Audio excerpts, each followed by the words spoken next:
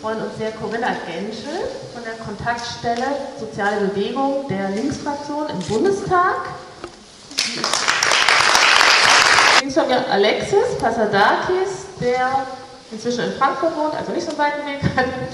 Ähm, vielen von euch hier sicherlich bekannt ist, lange im Attac-Koordinierungskreis war, in der PG-Euro-Krise mitarbeitet und immer mal wieder auch in der ein sozusagen angedockt ist an die PG-Euro-Krise und immer mal wieder in der ein oder anderen Talkshow zu sehen ist, zuletzt vor allem im Zusammenhang mit der Griechenland-Krise immer wieder im Fernsehen auch zu sehen war. Rechts von mir ist Werner Rätz, kennen die allermeisten hier sicherlich auch, zumindest vom Namen. Werner ist Mitbegründer von Attac Deutschland, eines der sogenannten Urgesteine, despektierlich gemeint, ähm, ist mit kurzer Unterbrechung auch von Anbeginn im Koordinierungskreis, in der Pressegruppe, auch aktiv bei Blockupy von Beginn an und in der PG-Euro-Krise ebenfalls. Also PG steht für Projektgruppe. Mein Name ist Frauke Distelrath, das sage ich auch noch. Ich bin Pressesprecherin im Bundesbüro in Frankfurt. Viel gemacht zur Austeritätspolitik. Wir waren in Brüssel, wir waren in Berlin, wir haben gegen den Fiskalpakt demonstriert, Aktionen gemacht, gegen ESM, gegen und Fiskalunion. Es gab Blockupy in Frankfurt. Wir haben Griechenland Solidaritätsdemos gemacht, Papiere verfasst, gefühlt hunderte Pressemitteilungen zum Thema. Und ich frage jetzt euch hier oben, wo stehen wir denn eurer Einschätzung nach im Widerstand gerade gegen die europaweite Austeritätspolitik und auch diese neoliberale EU-Politik insgesamt? Haben wir irgendetwas erreicht? Bei unserem Engagement für ein soziales, ein demokratisches und ökologisches Europa? Gibt es vielleicht zumindest Zeichen der Hoffnung auf einen Kurswechsel in Europa, dass es so nicht weitergehen wird? Vielleicht, Werner, fängst du an, wenn du möchtest. Ja, und äh, da habe ich jetzt drei Minuten für. Ähm, mal gucken. Also rein formal, rein äußerlich ist äh, das neoliberale Austeritätsmodell vollkommen intakt. Ähm, politisch äh, wird es in den herrschenden Debatten in überhaupt keiner Weise in Frage gestellt. Dabei ist gleichzeitig völlig klar, dieses Modell funktioniert nicht. Das hat noch nie funktioniert. Ähm, von Anfang an ist der Versuch, diese äh, Wirtschafts- und Währungsunion äh, so zu organisieren, dass damit ihr eigentliches Ziel erreicht werden kann, nämlich die Stabilität der Finanzanlagen zu garantieren. Frau Merkel hat es äh, in den letzten Jahren ja mehrfach öffentlich formuliert, dass das genau das eigentliche Ziel ist, um das es bei der Wirtschafts- und Währungsunion geht. Von Anfang an ist die Realisierung der Wirtschafts- und Währungsunion mit einem dauernden und immer stärker werdenden Lamento begleitet, dass sich alle Vertragspartner da doch gar nicht dran halten. Man hat erst Maastricht verabredet und keiner hält sich dran, dann hat man ähm, den Stabilitäts- und Wirtschaftspakt verabschiedet und keiner hält sich dran und so weiter. Verfallszeiten der Verträge werden immer kürzer, das Lamento wird immer größer und in den letzten Jahren sind mit ESM und Fiskalpakt und den äh, gescheiterten Wettbewerbspakten oder den noch nicht realisierten Wettbewerbspakten äh, in sehr kurzer Zeit ist ein Regelwerk geschaffen worden, das um diese nicht funktionierende Währungsunion herum ein Korsett an Verträgen und Regelungen legt, äh, wo es nicht mehr darum geht, ob irgendeine Regierung sich daran hält oder nicht, sondern wo die Exekutivmacht bei der Europäischen Kommission und die Gesetzesmacht letztlich auch dort liegt. Was sich im laufenden Jahr geändert hat, ist, was sich mit Griechenland geändert hat, ist, dass dieses Nicht-Funktionieren des europäischen Austeritätsmodells inzwischen jedem bekannt und bewusst ist. Es gibt in der ernstzunehmenden politischen Debatte eigentlich praktisch niemanden mehr und in der ökonomischen auch nicht, der sagt, dass dieses Modell so wie es ist funktionieren kann. Ein neuer Krisenschub, dessen Eintreffen eine Frage äh, nicht des Ob, sondern des Wann ist, ein neuer Krisenschub würde in der Weise, wie das 2008, 2009 gemacht worden ist, in gar keiner Weise mehr beherrschbar sein. Das ist auch allen bewusst. Deshalb die hektischen Versuche mit Bankenunion und allen möglichen anderen Dingen, ähm, dort noch weitere äh, Pfeiler einzuziehen, die dann angeblich halten sollen. Und an keiner Stelle entsteht ein Gegendiskurs bei den herrschenden Eliten. In den politischen Auseinandersetzungen der 60er, 70er Jahre, noch der 80er Jahre hatten wir immer Oppositionen, die in den herrschenden Eliten oppositionell waren. Das ist überhaupt nicht mehr da.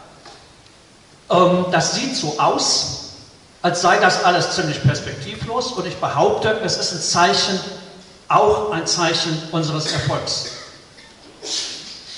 Dass den Herrschenden nichts mehr einfällt, als an ihrem todsicher nicht funktionierenden Modell festzuhalten, ist auch, nicht alleine, aber auch darauf zurückzuführen, dass die Auseinandersetzung darum sich in der Weise zuspitzt, dass dieses Modell verteidigt werden muss oder dass es fällt.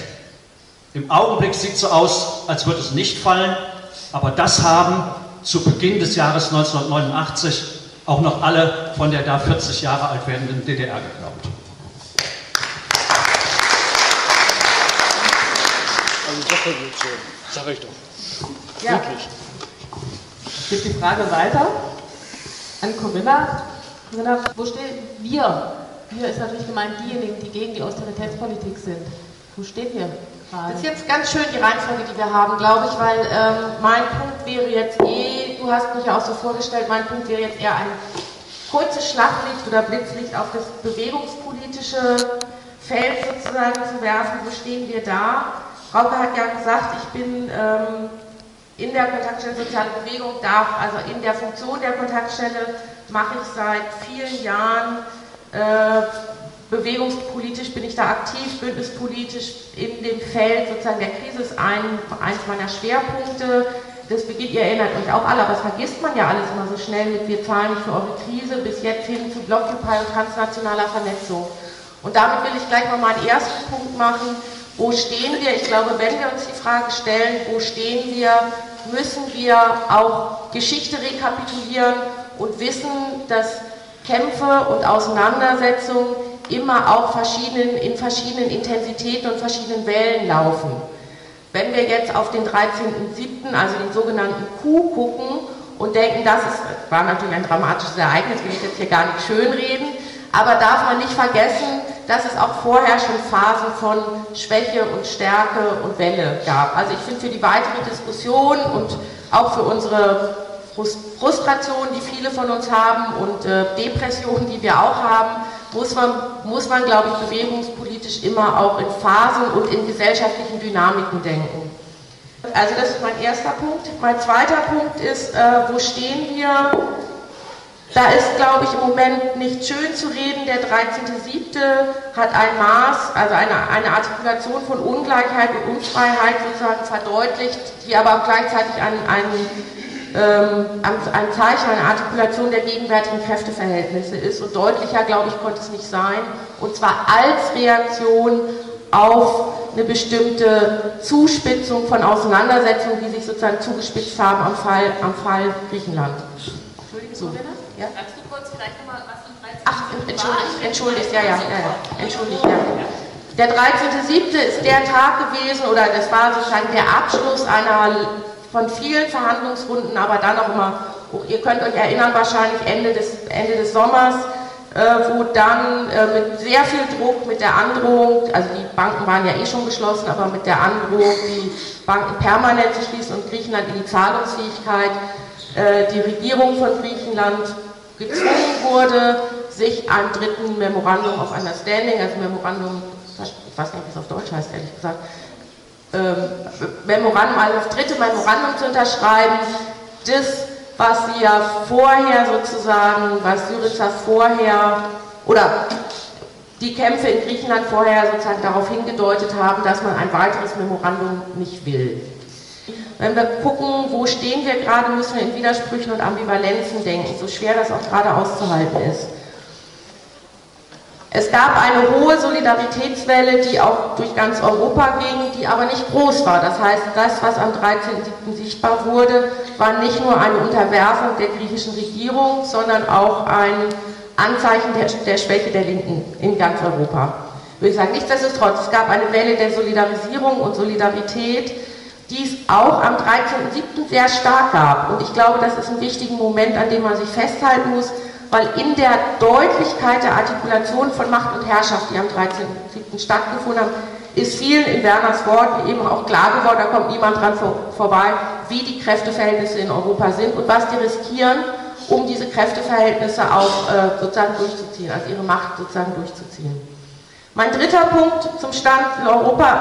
Danach gab es sozusagen, ich glaube, es gab eine kurze Phase vor dem Sommer, vor der richtigen Sommerpause, eine kurze Phase von immenser und intensiver Aktivität und Auseinandersetzung, die aber ein, im Nachhinein könnte man sagen, Vorbote zusammen mit der Sommerpause war in eine bewegungspolitische ähm, Diskussion und Nachdenklichkeit, Verunsicherung ähm, und ich würde eben jetzt auch sagen als These in eine Fragmentierung zu fallen, um den Fragmentierung, also Zersplitterung, wie ist der weite Weg? Und das nicht nur in Deutschland oder weniger, ehrlich gesagt, in Deutschland als in Europa. Viele Bewegungen in Europa wissen, wir müssen uns zusammentun und wir wollen uns zusammentun und Europa, nicht die EU. Europa und darin auch die EU ist ein Terrain von Struggles, also von Auseinandersetzungen, den wir auch füllen, in dem wir sind, gegen den wir, durch den wir durchgehen und für den wir ein anderes Europa sozusagen schaffen. Und ich glaube, das ist eine wirklich wichtige Erkenntnis. Das ist auch das, was mir die letzten Jahre viel Kraft gegeben hat, weiterzuarbeiten, obwohl die Machtverhältnisse und Kräfteverhältnisse so sind, wie sie sind, dass neue Akteure, ich würde auch nicht sagen ein einheitlicher Akteur, aber neue Akteure und eine Einsicht in die, äh, in die Notwendigkeit entstanden sind und auch eine Praxis darin entstanden sind, sich zusammenzutun und in der Ungleichzeitigkeit zu versuchen, gemeinsam Ausdruck zu finden und gemeinsame Kristallisationspunkte. Diese Krise, diese Finanzkrise, die sich 2007, 2008 begonnen hat zu entfalten, hat Gesellschaften definitiv in Bewegung gebracht. Und ich denke, der bisherige Höhepunkt an Bewegung, das war das Jahr 2011. Äh, das Jahr mit den Platzbesetzungen, ähm, also wenn man jetzt auf den europäischen Kontinent schaut, insbesondere in Spanien äh, und in Griechenland, ähm, dann aber global natürlich ähm, dieser Ausdruck, den es am 15. Oktober 2011 gefunden hat, mit diesen vielen, vielen Protesten, auch in der Bundesrepublik, Occupy Wall Street gab es all diese ganzen Dinge. Das war, denke ich, bisher der Höhepunkt an Dynamik. Seitdem gab es verschiedene Phasen, und ich denke, dass dieses In Bewegung sein noch immer da ist, ähm, vielleicht äh, sogar jetzt wieder anschwellend. Äh, das Problem bei der ganzen Geschichte ist, dass das In Bewegung sein nicht nur die gesellschaftliche Linke betrifft, sondern auch die gesellschaftliche Rechte. So, ähm, und das betrifft sicherlich gerade aktuell im Moment insbesondere die Bundesrepublik, das ist aber auch in anderen Ländern der Fall. Das heißt, wenn die Frage ist, wo wir stehen, dann beziehen wir Bewegung meistens auf die gesellschaftliche Linke, ähm, aber die gesellschaftliche Rechte, die ist eben auch unterwegs. Äh, in der Bundesrepublik insbesondere in Form von AfD, Pegida und so weiter und so fort. Und das sind im Moment diejenigen, die die Fähigkeit haben, das politische Spektrum zu bewegen, sprich nach rechts zu ziehen. Ähm, und zwar mit einem ja, hohen Tempo, würde ich sagen, mit einem bedrohlichen Tempo. Zur Austeritätspolitik. Ähm, also meine Analyse der Austeritätspolitik ist anders äh, als die von dir, Werner. Ich würde sagen, die Austeritätspolitik funktioniert hervorragend. Das Modell funktioniert hervorragend. Und ich glaube, dass es bei diesem Modell nicht um, naja, eine überzeitliche Stabilisierung von Finanzanlagen geht, sondern dass es vor allen Dingen da tatsächlich darum geht, die Machtverhältnisse zu restrukturieren in den Gesellschaften ähm, Strukturanpassungsmaßnahmen durchzusetzen und ähm, die relativen Machtunterschiede zu vergrößern zwischen dem 1% und den unteren Bevölkerungsschichten. Und das hat bisher hervorragend funktioniert. Ähm, ähm, dankenswerterweise ähm, hatte mich die Linksfraktion vor ein paar Tagen eingeladen, um zum Thema Privatisierung in Griechenland bei einer Anhörung zu sprechen. Und wenn man sich da zum Beispiel die Privatisierungen anschaut, die bisher gelaufen sind, Der Großteil dessen, was da privatisiert wurde, geht unmittelbar in die Hand von Leuten, egal ob das jetzt Leute mit griechischer Staatsangehörigkeit sind oder nicht, die auf der Forbes-Liste der oberen 500 stehen. Das ist sozusagen die Zielgruppe dieser ganzen schönen Privatisierungsmaßnahmen. Äh, das ist gar nicht die 1% äh, und die Leute, die ein paar Millionen auf dem Konto haben, sondern die, die im Wesentlichen davon profitieren, das sind eben die Leute, die auf der Forbes-Liste der 500 stehen, der 500 reichsten Personen. Also dieses Modell, denke ich, hat hervorragend funktioniert und dieses Modell wird weiter durchgedrückt. Es wird zunehmend autoritärer, ähm, dieses Modell, und es gibt eben tatsächlich keine Anzeichen bei den Eliten, dass sich da ähm, etwas ändert. Ähm, das heißt nicht, angesichts einer düsteren Prognose, dass die Hoffnung äh, völlig weg ist, dass sich etwas ändern lässt. Wie gesagt, Gesellschaften sind in Bewegung, aber die Situation ist ziemlich katastrophal. Es gibt eine frische Studie der Internationalen Arbeitsorganisation, die hat sich Austeritätspolitik mal angeschaut für die kommenden Jahre, insbesondere fürs folgende Jahr, 2016 also. Das ist keine Studie bezüglich Europa, sondern global und die ILO stellt fest, in 132 Ländern wird es eine Kontraktion der öffentlichen Ausgaben geben. In 132 Ländern. Und deshalb spricht die ILO davon, dass 2016 ein zweiter Austeritätsschock erfolgen wird, ähm, angesichts dieser Dynamik der Kontraktion öffentlicher Haushalte. Also ähm, dieser Elitenkonsens ist nicht nur ein, ein, europäischer, sondern ein globaler und mit einer hohen Schlagzahl wird dieses Projekt weiter verfolgt. Wenn ich zurückdenke an die Zeit, in der Attacke gegründet wurde, dann gab es sehr stark so ein, mm, eine, eine, These, dass ähm, Herrschaft dann doch irgendwie auf einer Form von Konsens beruht, den die Regierungen dann herstellen müssen. Ähm, ich glaube, dass wir im Moment an einem Punkt sind, wo diese Notwendigkeit aus der Perspektive der, Herrscher nicht mehr wirklich besteht, Konsense zu produzieren, die gesamtgesellschaftlich ausstrahlen, sondern dass es darum geht, ähm, wenn Sachen durchzusetzen sind, diese durchzusetzen, im Notfall mit autoritären Instrumenten. Und auch wenn wir in Bewegung sind, ähm, wir sind, denke ich, noch überhaupt nicht auf einem Niveau, dem zu begegnen. Und die Versuche, die es bisher gab, 2011, die sind erstmal ins Leere gelaufen. Und dann natürlich die wahlpolitischen, der wahlpolitische Versuch in diesem Jahr mit Syriza ähm, und wie das in Spanien und Portugal ausgehen wird, das wird man sehen. Und jetzt muss ich leider aufhören, obwohl ich euch noch was sagen wollte. Nein, später. Wie haltet ihr es mit der EU und mit der Integration? Was heißt das? Ist dieses ganze Projekt von vornherein sozusagen so hoffnungslos neoliberal verseucht, dass ein dritter Weg illusorisch ist? Die einzige Antwort nur noch Widerstand gegen das gesamte Projekt sein kann?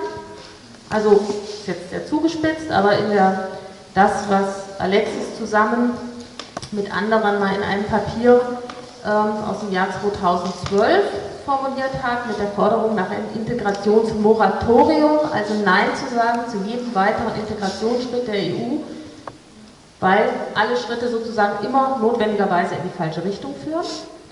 Oder wäre ein Weg zurück zu dann ja wohl mehr Nationalstaat, das größere Übel in jedem Fall, gefährlich.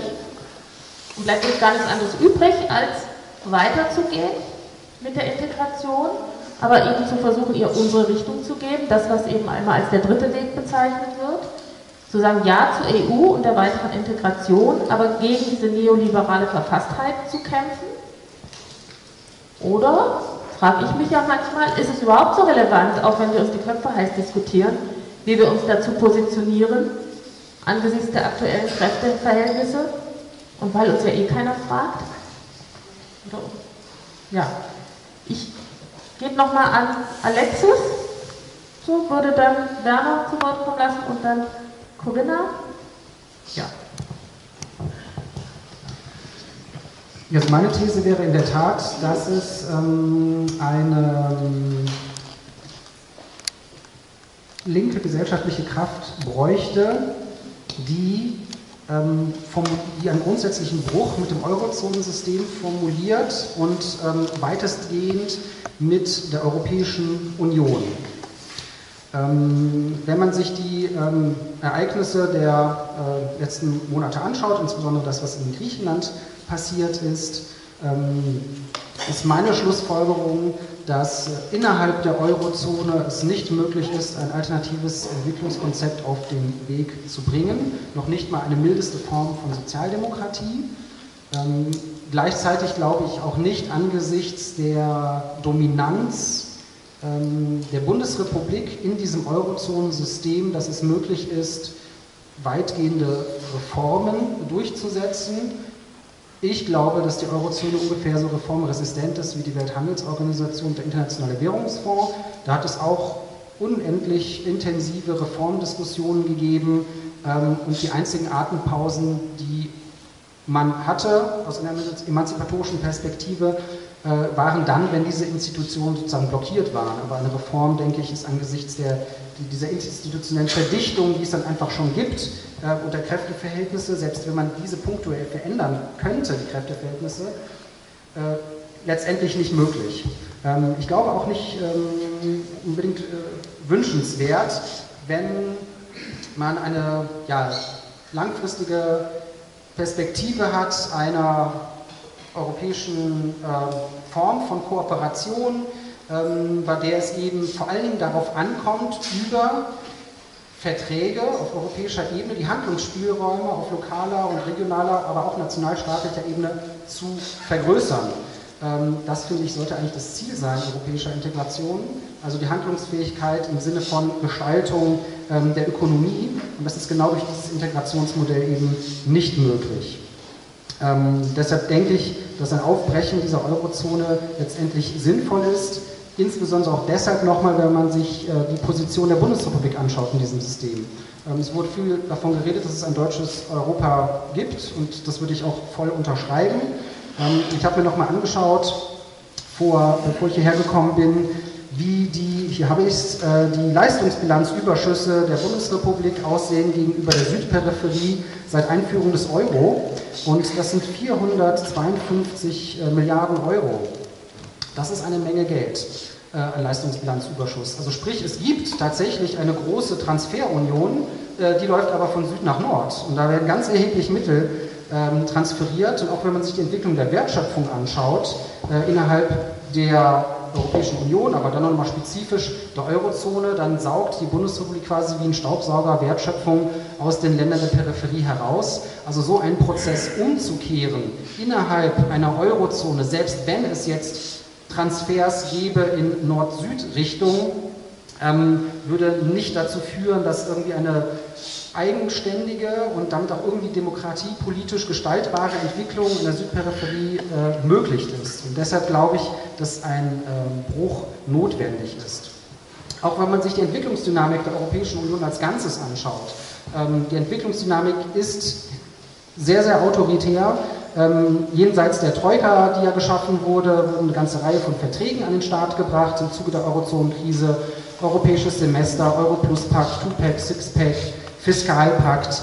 Im Moment wird diskutiert über eine Vertiefung der Wirtschafts- und Währungsunion anhand des sogenannten Fünf-Präsidenten-Papiers. Der eine oder andere hat es vielleicht schon mal gesehen. Da wird eben skizziert eine weitere äh, Vertiefung der Wirtschafts- und Währungsunion ähm, hin zu einem System, was ich Troika für alle nennen würde. Glücklicherweise sind einzelne Punkte schon auf Kritik gestoßen, zum Beispiel des DGB. Ähm, nämlich die äh, sogenannten Wettbewerbsräte äh, oder Räte für Wettbewerbsfähigkeit, wie auch immer sie genau heißen, die tief eingreifen sollen in die Tarifautonomie und Leitlinien errichten sollen, damit eben die Lohnfestlegung nicht mehr so zwischen diesen beiden Akteuren, ähm, die in der, der bundesrepublikanischen Verfassung dafür zuständig sind, ähm, passiert, sondern eben anhand bestimmter Wettbewerbskriterien, die am Weltmarkt letztendlich orientiert sind, sprich entweder Stagnation von Löhnen, darauf würde es hinauslaufen, oder Absenkung äh, von Löhnen. Also es gibt eine massive autoritäre Entwicklung und ich glaube nicht, dass es insbesondere für die Länder der Peripherie, und ich würde jetzt einfach mal Frankreich dazu zählen, obwohl es eigentlich ein Kernstaat ist, ähm, sinnvoll ist, darauf zu warten, dass sich im Zentrum tatsächlich etwas verschiebt, sodass andere Handlungsspielräume möglich sind, sondern ich denke, dass es ganz gut ist, Lehren zu ziehen aus dem, wie in anderen Situationen umgegangen wurde, in denen es eine Dominanz gab durch einen Akteur, ähm, dann war es nämlich meistens eine Absetzbewegung. Das hat man in Lateinamerika gesehen gegenüber den USA, das hat man äh, zu Kolonialzeiten gesehen gegenüber den ähm, Kolonialmächten. Ähm, durch die Kolonisierten. Und wenn man genau hinhört, zumindest in Griechenland ist es so, dass die, die Frage der Austeritätspolitik zunehmend verhandelt wird in einer, in einer Sprache der Befreiung, also mit so einem vor so einer antikolonialen Brille. Und ich glaube, dass da äh, eine Menge dafür spricht, dass es sinnvoll ist, sich äh, diese Brille aufzusetzen. Ähm, und deshalb denke ich, ich komme zum Schluss, genau, und deshalb denke ich, dass es sinnvoll ist, eine, eine, eine gesellschaftliche Linke zu entwickeln, die für einen grundsätzlichen Bruch eintritt, weil ich glaube, sonst Folgendes passiert, was meines Erachtens in Frankreich gerade unterwegs ist. Eine Entwicklung, die zunehmend darauf hinausläuft, dass man auf der einen Seite die Globalisten hat, beziehungsweise Europäisten, äh, und dazu gehört eigentlich fast das gesamte politische Spektrum, und dann aber auf der anderen Seite die Souveränisten, die durch Le Pen repräsentiert werden und beginnen, dadurch, dass Le Pen auch die soziale Frage zunehmend spielt, ähm, die Gesellschaft, die Linke, die es eben gibt, zunehmend auszuhöhlen äh, äh, und die so eine Position zunehmend zu formulieren, die die unteren Klassen sozusagen zu repräsentieren scheint gegenüber von Europäisten und Globalisten. Das wäre eine Katastrophe, wenn so eine Polarität unsere Gesellschaft dominieren würde. Und ich glaube, da braucht es eben eine ganz andere Position. Äh, und es wäre, glaube ich, sehr, sehr gut, wenn Attac da eine Rolle spielen würde, diese zu entwickeln. Punkt. Du hast gesagt, Austeritätspolitik funktioniert, weil sie, so deine Einschätzung, in erster Linie auf die Stabilisierung bzw. Ähm, auf die ähm, autoritäre Stabilisierung und Vergrößerung, äh, ähm, Verstärkung der Kräfteverhältnisse ähm, zielt, der Absicherung der Machtverhältnisse.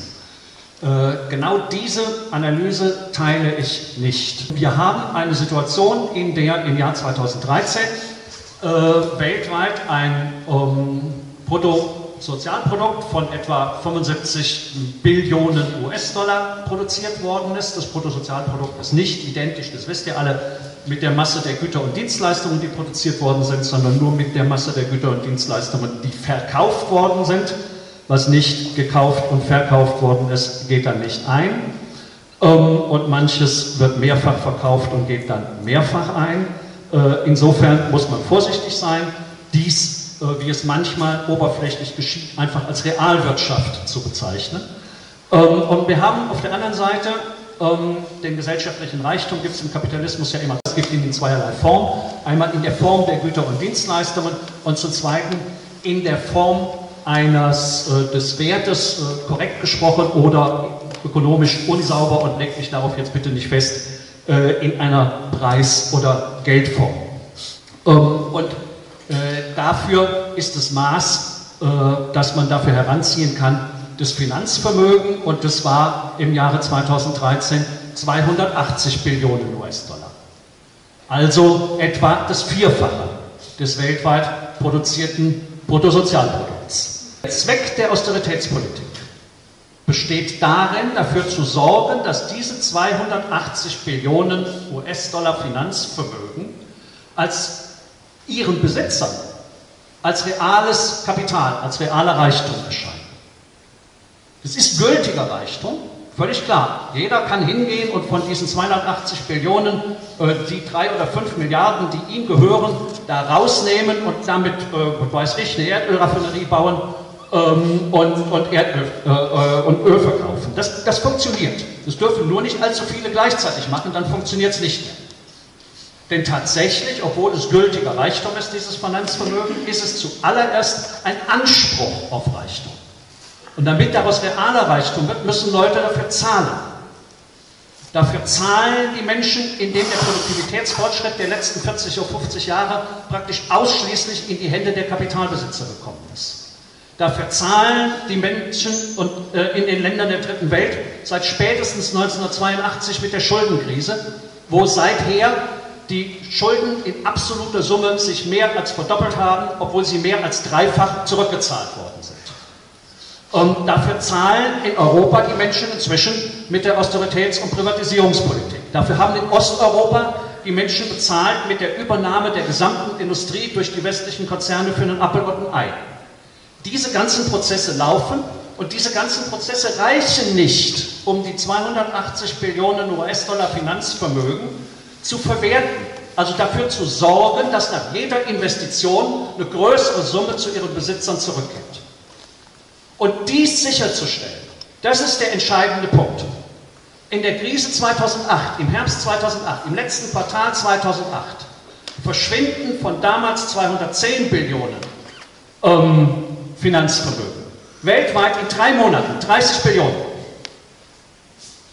Am Ende 2008 sind noch 175 Billionen da, im äh, September waren es 210. 30 Billionen. Und am Ende des Jahres 2009 sind wir wieder auf 210 Billionen Finanzkapital. Das ist der Zweck der Politik, diese 30 Billionen wieder, zu schaffen, wieder zu, herbeizuschaffen für ihre Besitzer.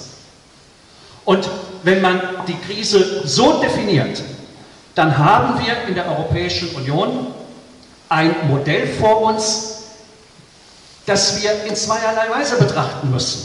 Es ist das eine, wie Sie versuchen, Krisenpolitik zu handhaben, und damit muss man brechen. Damit muss man unbedingt brechen. Deshalb ist es notwendig und richtig, diese auch von dir genannten autoritären Stabilisierungsmaßnahmen zurückzuweisen und in gar keiner Weise sich davon beeindrucken zu lassen. Es ist notwendig und richtig, wie ähm, Joachim Bischof das im, vor zwei Wochen, glaube ich, äh, im Neuen Deutschland formuliert hat, ähm, ein demokratisches äh, und soziales Europa, das mit der neoliberalen Logik des Maastrichter Vertrags und allem, was da hinten dran hängt, bricht, äh, zu fordern. Das ist richtig. Falsch ist es aus meiner Sicht zu glauben, man könne einen Bruch mit der Europäischen Union organisieren, der nicht rechtskonnotiert wäre und der nicht von den politischen Strömungen, die du eben Souveränisten genannt hast, vereinnahmt wurde. Es hat noch nie funktioniert, dass ein Integrationsprojekt aufgelöst worden ist von mehr Integration hin zu weniger Integration, ohne dass das dramatische politische, gesellschaftliche und in der Regel auch militärische Verwerfungen hatte. Ich weiß, dass die Frage mit der Friedensfunktion der Europäischen Union gleich noch kommt, deshalb gehe ich an der Stelle da erstmal nicht weiter drauf ein. Ich finde es aber wichtig, ähm, sich bewusst zu machen, dass das, ähm, das Anrecht auf das Original in der Frage äh, weniger europäische Integration, mehr ähm, nationale Möglichkeiten eigener Politik zu betreiben, das Original einer solchen Position ist rechts. Und wer das versucht, diese Idee von links zu bedienen, darf sich nicht wundern, wenn er von rechts dafür missbraucht wird. Es kann kein, es kann kein Integrationsmoratorium geben. Das müssten, dieses Moratorium müsste von den herrschenden Eliten durchgeführt werden. Ich habe eben gesagt, es gibt keine ähm, Gegeneliten. Es gibt kein gegenelitäres Projekt. Die Herrschenden in der Europäischen Union, die ähm, Eliten in der Europäischen Union stehen an einem Punkt, in dem sie von ihrem ähm, autoritären Modell der europäischen Integration so nicht wieder runterkommen. Ich äh, komme zum allerletzten Punkt, genau. Ähm, und dies führt zu konkreten Lebensbedingungen, Alexis, du hast das völlig richtig beschrieben, führt zu konkreten Lebensbedingungen, die in großen Teilen der Peripherie und inzwischen auch für viele, viele Menschen in den Zentralländern der Europäischen Union kaum noch lebbar sind. Das ist ganz eindeutig so. Und das erinnert mich ganz massiv an die Situation, die Marx und Engels im kommunistischen Manifest beschreiben, wenn sie sagen, äh, wenn sie die Lage der, der Arbeiterklasse damals beschreiben und sagen, das sind zum großen Teil Leute, die vor einer Generation oder vor einer halben Generation noch im Dorf gelebt haben und da ging es ihnen besser. Und die trotzdem wortwörtlich formulieren und trotzdem wollen wir Kommunisten nicht zurück zur Idiotie des Dorflebens. Weil nämlich nach hinten kein Fortschritt zu, äh, zu erwarten ist. Der Fortschritt kann nur im Durchgang durch dieses reaktionäre, autoritäre Projekt auf der anderen Seite davon liegen, weil auch was Richtiges darin liegt. In der Bewegung der Arbeiterklasse damals das Richtige aus den Zwängen der Standes- und der Dorfgesellschaft herauszukommen und bei der Europäischen Union das Richtige aus den Zwängen des Nationalismus und der dörflichen Kleinkariertheit herauszukommen.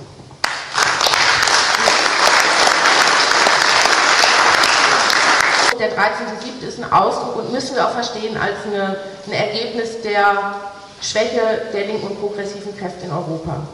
Insofern stellt sich für mich die Frage, muss ich mir die Frage eigentlich gerade stellen, EU abschaffen oder nicht oder so, weil wer sollte sie abschaffen und in welchen Kräfteverhältnissen denken wir das eigentlich, das abzuschaffen? Da brauche ich ja nur auf Deutschland zu gucken. Was hieße denn, also wie sind die Kräfteverhältnisse hier? Ich meine jetzt von links und progressiv gesprochen und ich gehe vielleicht sogar bis zu den Sozialdemokraten, also macht das gesellschaftliche, dieses oppositionelle Lager größer, was sich, finde ich, auch um den 13.7. gezeigt hat. Aber das reicht ja überhaupt nicht aus, würde doch gar nicht ausreichen, um sozusagen den rechten Eurokritikern und Kritikerinnen der Kampagne, die in anderen Ländern noch sehr viel stärker ist, sozusagen viel ähm, das Feld wegzunehmen, eine andere Interpretation sozusagen durchzusetzen. Ne?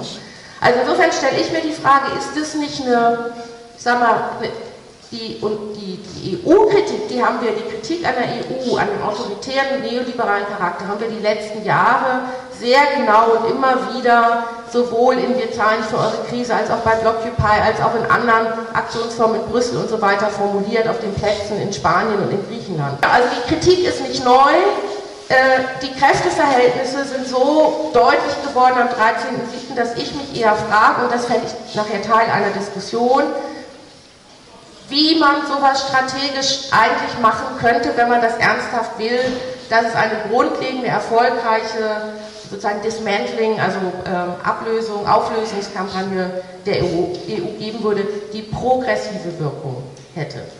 Zweiter Einwand, und da komme ich gleich nochmal zu so einem äh, positiven Punkt, glaube ich, oder einem anderen Dreh, ist aus der Perspektive Deutschland was hieße denn da, die EU in Frage zu stellen? Das frage ich jetzt gar nicht von, von rechts, sondern was hieße denn, mehr staatliche Souveränität für Deutschland zu haben und so weiter. Also ein, ein starker Staat innerhalb von Europa.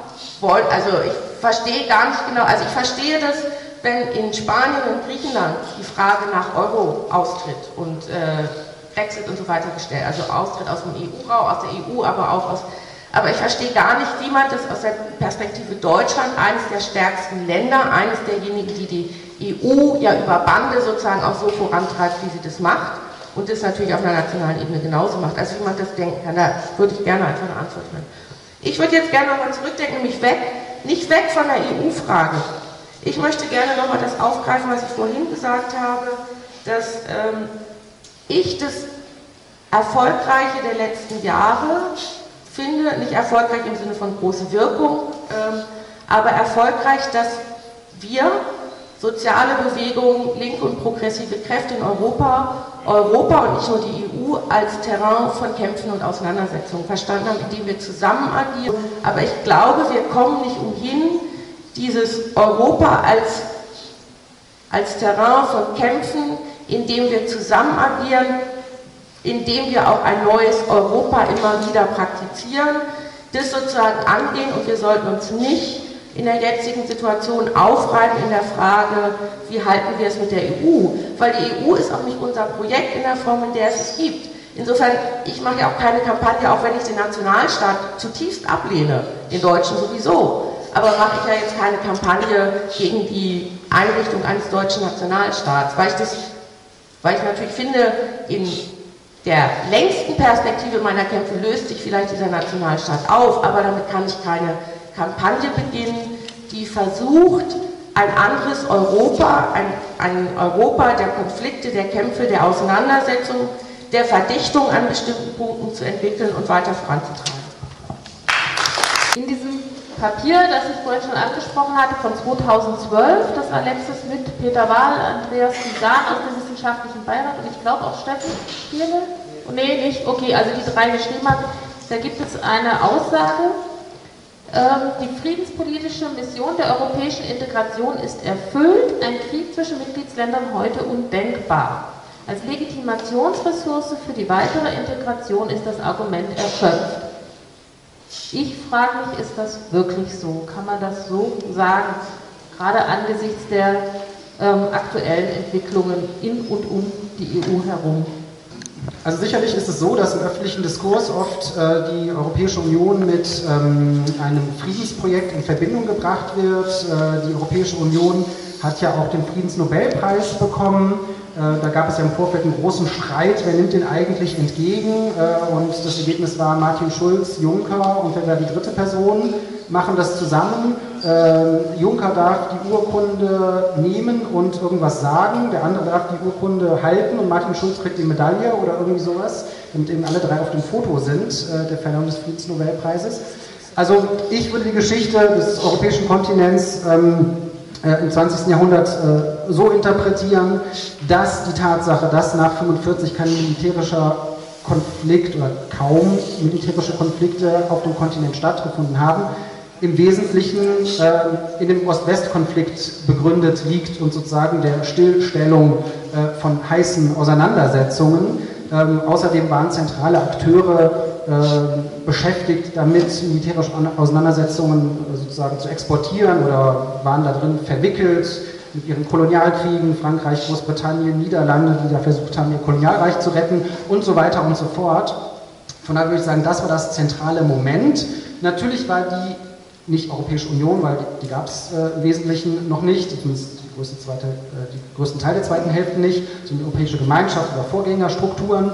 Ähm, äh, diese Strukturen hatten durchaus auch mit einem Beitrag, aber der fiel nicht so ins Gewicht wie eben aus Westkonflikt, NATO, ähm, die sozusagen das alles stillgestellt haben, was da vielleicht noch möglich gewesen wäre ohne diese ähm, Dynamik. Ähm, plus, glaube ich, ist es auch eine, ja, also eine fast eine propagandistische Aussage, dass eben die entsprechenden Institutionen da so einen großen Anteil hatten.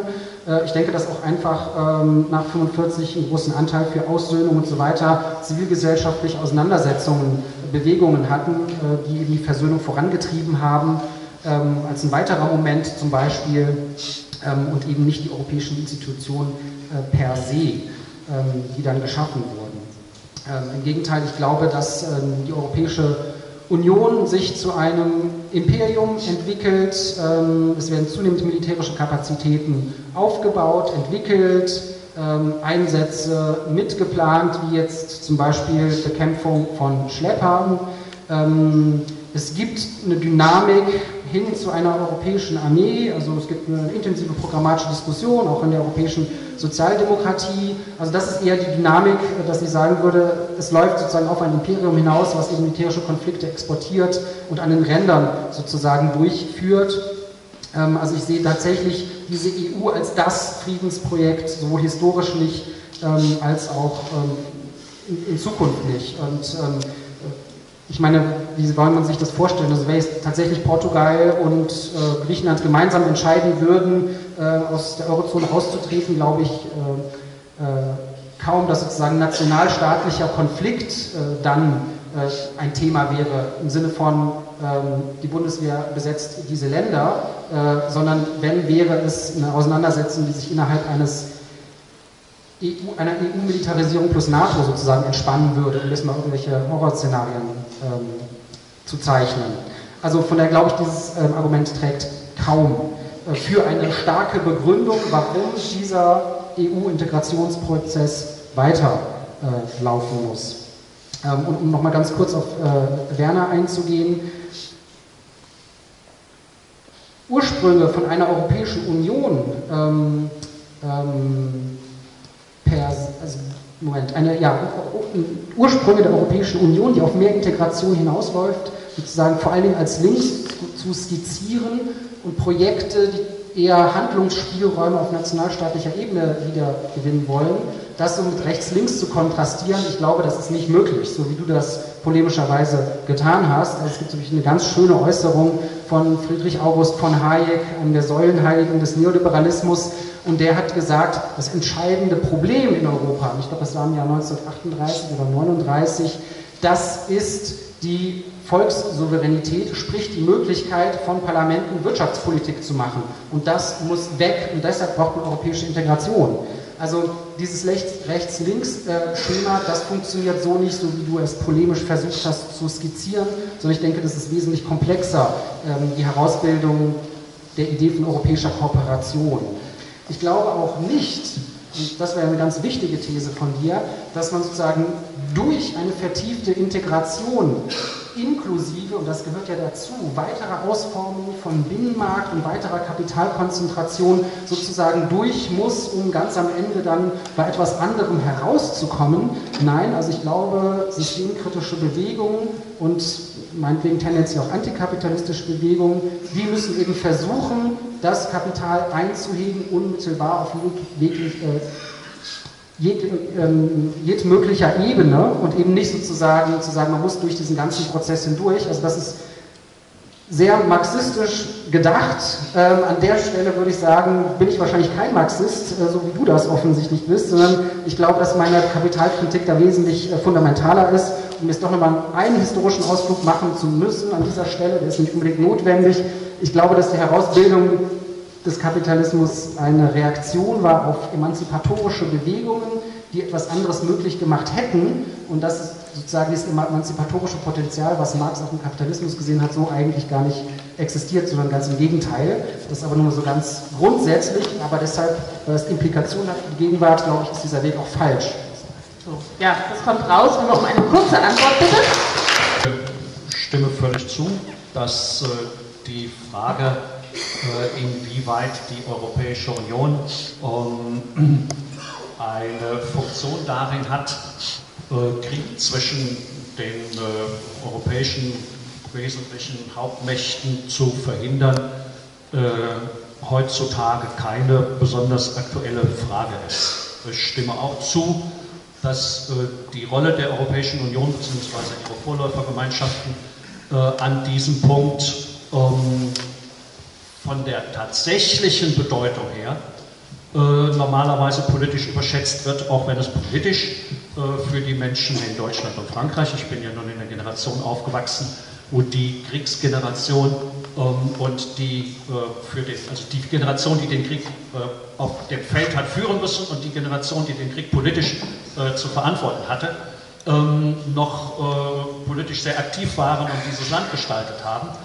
Ähm, und äh, in meiner Jugend, ich habe mit Leuten einem ähnlichen Alter wie ich häufig darüber gesprochen, war das schon so, dass für eine ganze Menge Leute, die friedenspolitisch äh, engagiert waren und die ähm, Antikriegspositionen vertraten, äh, es eine extrem wichtige Erfahrung war, dass die früheren Kriegsgegner jetzt in den 50er und 60er Jahren begannen, sehr eng zusammenzuarbeiten. Ich glaube trotzdem, dass Alexis du recht hast, wenn du sagst, das wird von der realen Bedeutung her überschätzt.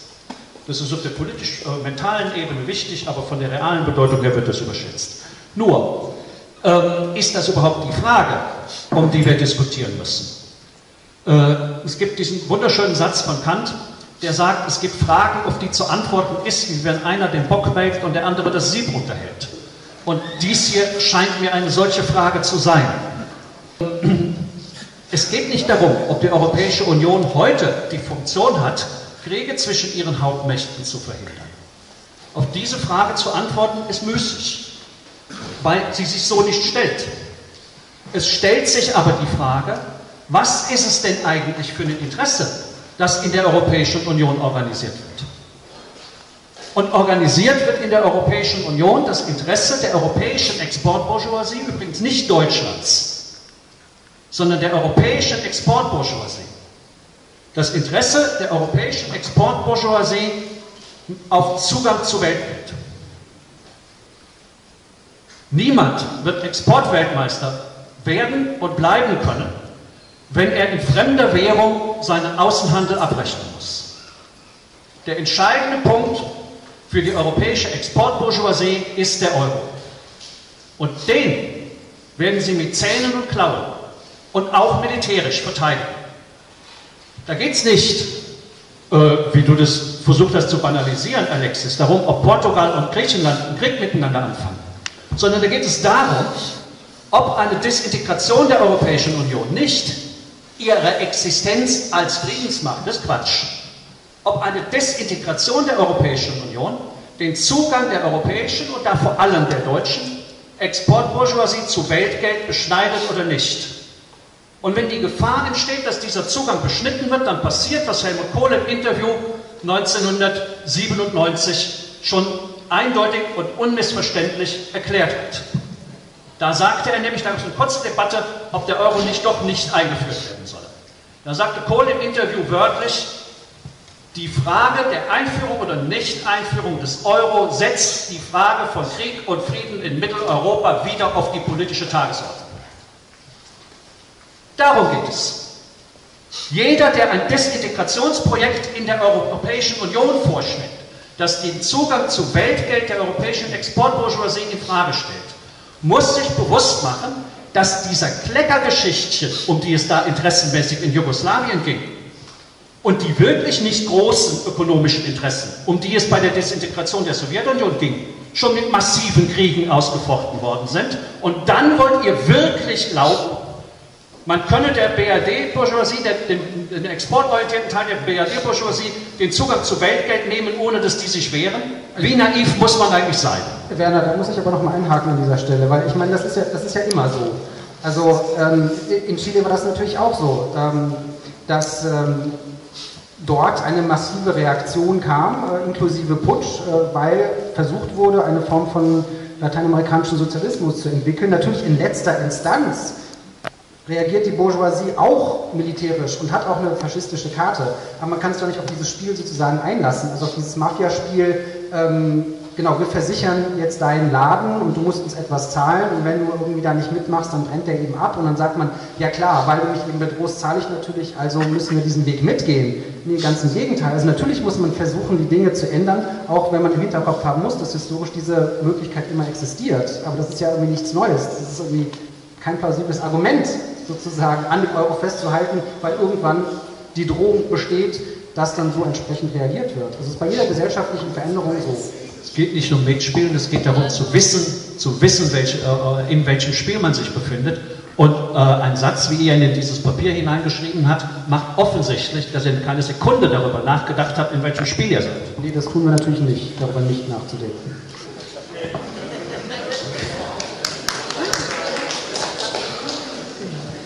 Ja. Eine ist Quo Vadis Europa, das andere ist ja, äh, ich kann es nicht Latein, also geht es mit uns hin?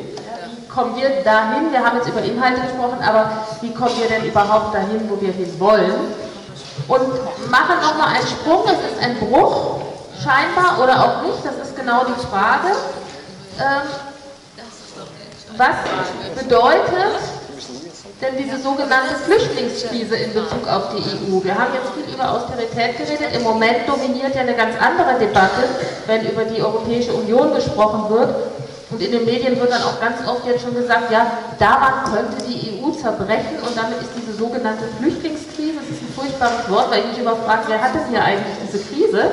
Das was die Austeritätspolitik ja offenbar nicht geschafft hat in der öffentlichen Debatte, in der veröffentlichten Debatte, das schafft diese sogenannte ja, Flüchtlingskrise. Weltkrise. Sie bringt angeblich Europa an den Rand und droht Europa auseinanderzutreiben. Wie hängt das denn alles zusammen? Corinna, möchtest du anfangen?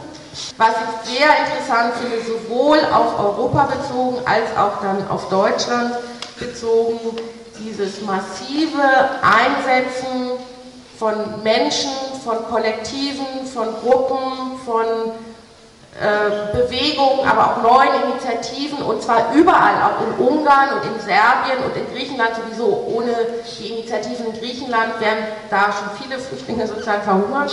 Ähm, das Einsetzen für eine grenzüberschreitende Solidarität, das finde ich einen total wichtigen Punkt für einen, einen Kampf für ein anderes, lebendiges, lebenswertes Europa.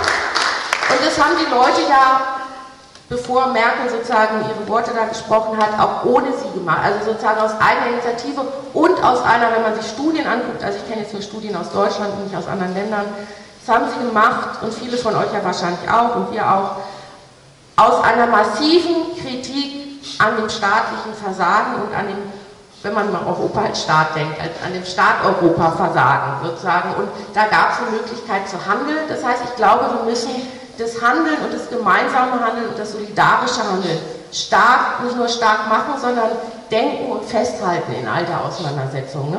Also wir wollen handeln, Leute wollen handeln, wir wollen solidarisch handeln. Ja, also ich bin total beeindruckt davon, was ähm, an Solidaritätsaktionen, auch an karitativen Aktionen passiert und wie das alles ähm, transnational organisiert ist. Das ist äh, unglaublich großartig. Ähm, bevor ich ähm, im Sommer Urlaub gefahren bin, war ich bei einer äh, Kleidungssammelaktion beteiligt in Frankfurt und dann in Urlaub gefahren nach Griechenland und in Thessaloniki angekommen und am selben Abend gab es eben eine Soli-Party äh, um Gelder zu sammeln, um die Leute ähm, ja, zu unterstützen mit Nahrungsmitteln, die von Griechenland nach Makedonien übertreten. Also das war wirklich ganz, ganz beeindruckend. Ähm, genau, wenn ich versuche zusammenzuzählen, ich versuche jetzt diese Flüchtlingsgeschichte, das ist eben vor allen Dingen eine Rassismus- und Faschismuskrise, die dort abläuft, ähm, und eben keine ähm, Flüchtlingskrise, sondern ähm, das ist das Problem. Ähm, der, diese, dieser rassistische Diskurs, ähm, der sich da entspannt hat. Ich würde sozusagen, das sind die Früchte eben von neoliberaler Umstrukturierung der Gesellschaft. Also das, was jetzt sozusagen ähm, die organisierten äh, faschistischen Kader ernten, das sind eben die Früchte, die Hartz IV und andere Dinge äh, hervorgebracht haben, ähm, beziehungsweise auch die, die Unfähigkeit des äh, Staatsapparates, so wie er strukturiert ist, ähm, äh, insbesondere auch im Osten für andere Verhältnisse zu sorgen, eben auch aufgrund von neoliberaler Doktrin. Da ist tatsächlich was in Bewegung von links, all das, was unter Willkommenskultur läuft. Hinzu kommen diese ganzen großartigen Mobilisierungen, die es gegen Pegida, AfD und gegen diesen anderen ganzen Kram gibt, der sich da trifft, äh, pro NRW, die Rechte und so weiter und so fort.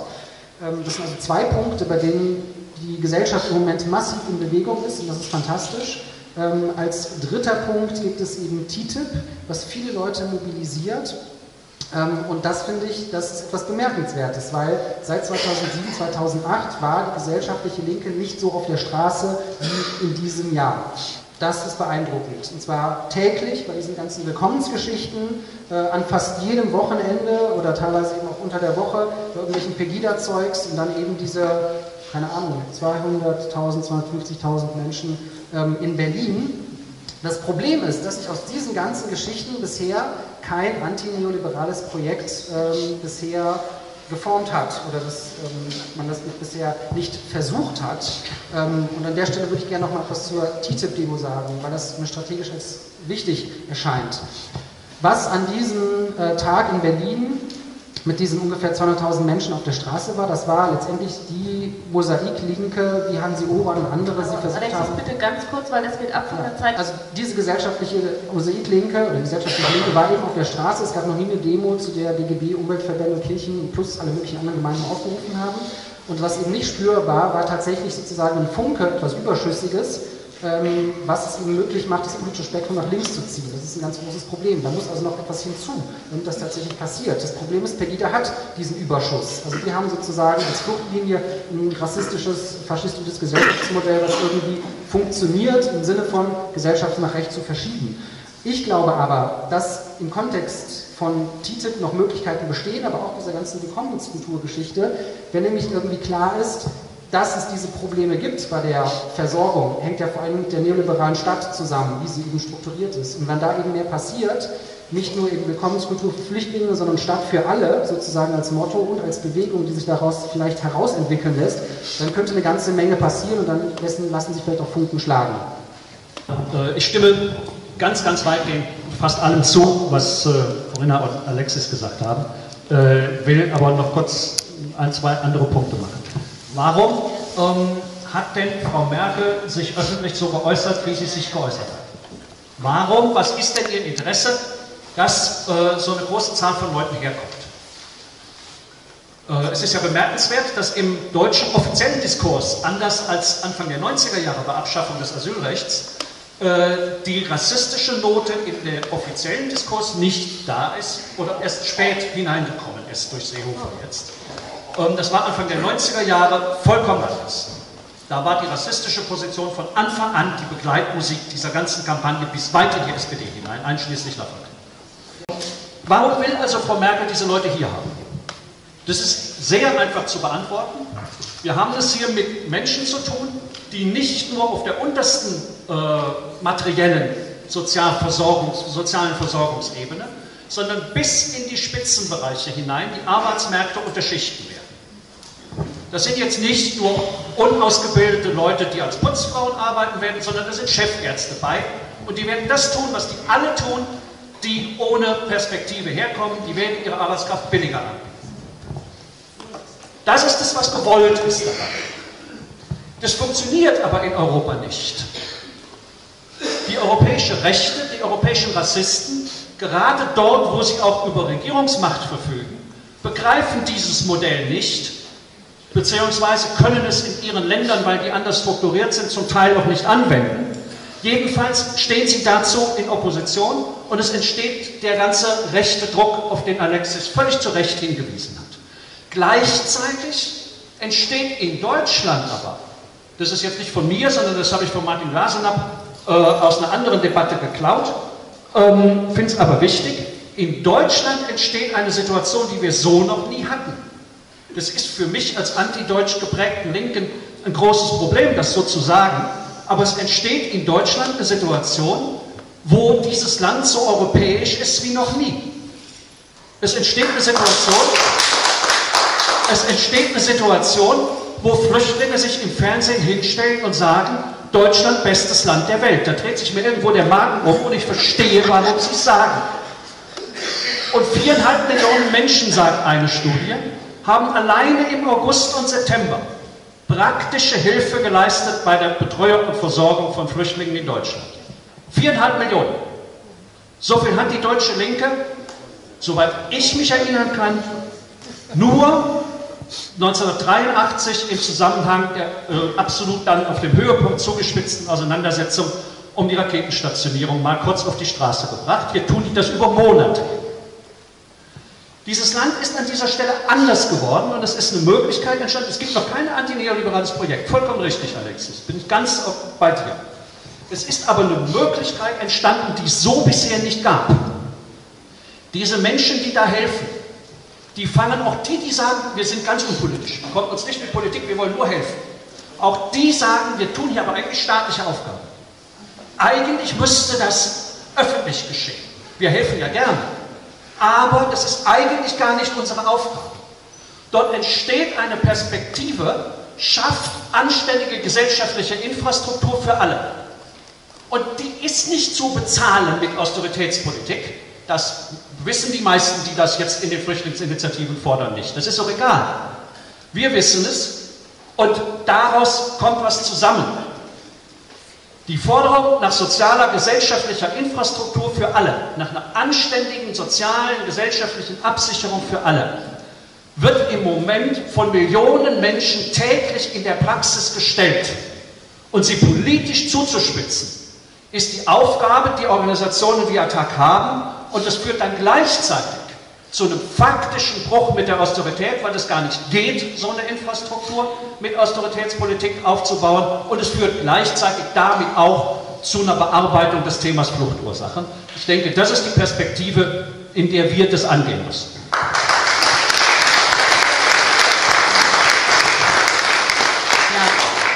Dank. Vielleicht an der Stelle ein kleiner Hinweis. Morgen ist ja im Plenum genau das Thema Migration und Globalisierung Thema, so viel ich weiß. Ja, richtig morgen? Ja. ja. Genau, also nochmal, da kann auch ein Teil der Debatte unter anderem. Flüchtlingsgeschichte, das ist eben vor allen Dingen eine Rassismus- und Faschismuskrise, die dort abläuft ähm, und eben keine ähm, Flüchtlingskrise. Ähm, das ist das Problem.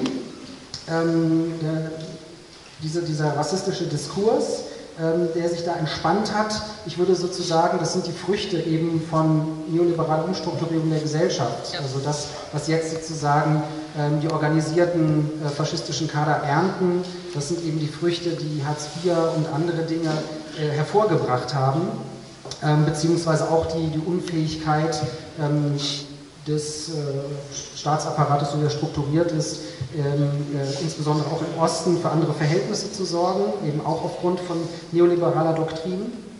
Ähm, da ist tatsächlich was in Bewegung von links, all das, was unter Willkommenskultur läuft. Hinzu kommen diese ganzen großartigen Mobilisierungen, die es gegen Pegida, AfD und gegen diesen anderen ganzen Kram gibt, der sich da trifft, äh, pro NRW, die Rechte und so weiter und so fort. Ähm, das sind also zwei Punkte, bei denen die Gesellschaft im Moment massiv in Bewegung ist und das ist fantastisch. Ähm, als dritter Punkt gibt es eben TTIP, was viele Leute mobilisiert ähm, und das finde ich, das ist etwas Bemerkenswertes, weil seit 2007, 2008 war die gesellschaftliche Linke nicht so auf der Straße wie in diesem Jahr. Das ist beeindruckend. Und zwar täglich bei diesen ganzen Willkommensgeschichten, äh, an fast jedem Wochenende oder teilweise unter der Woche bei irgendwelchen Pegida-Zeugs und dann eben diese, keine Ahnung, 200.000, 250.000 Menschen ähm, in Berlin. Das Problem ist, dass sich aus diesen ganzen Geschichten bisher kein antineoliberales Projekt ähm, bisher geformt hat oder dass ähm, man das bisher nicht versucht hat. Ähm, und an der Stelle würde ich gerne noch mal etwas zur TTIP-Demo sagen, weil das mir strategisch als wichtig erscheint. Was an diesem äh, Tag in Berlin mit diesen ungefähr 200.000 Menschen auf der Straße war. Das war letztendlich die Mosaiklinke, wie Hansi Ober und andere sie versucht Alexis, haben. bitte ganz kurz, weil es geht ab von der Zeit. Also diese gesellschaftliche Mosaiklinke oder die gesellschaftliche Linke war eben auf der Straße. Es gab noch nie eine Demo, zu der DGB, Umweltverbände, Kirchen plus alle möglichen anderen Gemeinden aufgerufen haben. Und was eben nicht spürbar war, war tatsächlich sozusagen ein Funke, etwas Überschüssiges, was es ihm möglich macht, das politische Spektrum nach links zu ziehen. Das ist ein ganz großes Problem. Da muss also noch etwas hinzu, damit das tatsächlich passiert. Das Problem ist, Pegida hat diesen Überschuss. Also wir haben sozusagen als Fluchtlinie ein rassistisches, faschistisches Gesellschaftsmodell, das irgendwie funktioniert im Sinne von Gesellschaft nach rechts zu verschieben. Ich glaube aber, dass im Kontext von TTIP noch Möglichkeiten bestehen, aber auch dieser ganzen Willkommenskulturgeschichte, wenn nämlich irgendwie klar ist, dass es diese Probleme gibt bei der Versorgung, hängt ja vor allem mit der neoliberalen Stadt zusammen, wie sie eben strukturiert ist. Und wenn da eben mehr passiert, nicht nur. Aber darf man nicht vergessen, dass es auch vorher schon Phasen von Schwäche und Stärke und Welle gab. Also ich finde für die weitere Diskussion und auch für unsere Frustration, die viele von uns haben und äh, Depressionen, die wir auch haben, muss man, muss man, glaube ich, bewegungspolitisch immer auch in Phasen und in gesellschaftlichen Dynamiken denken. Also das ist mein erster Punkt. Mein zweiter Punkt ist, äh, wo stehen wir? Da ist, glaube ich, im Moment nicht schön zu reden. Der 13.7.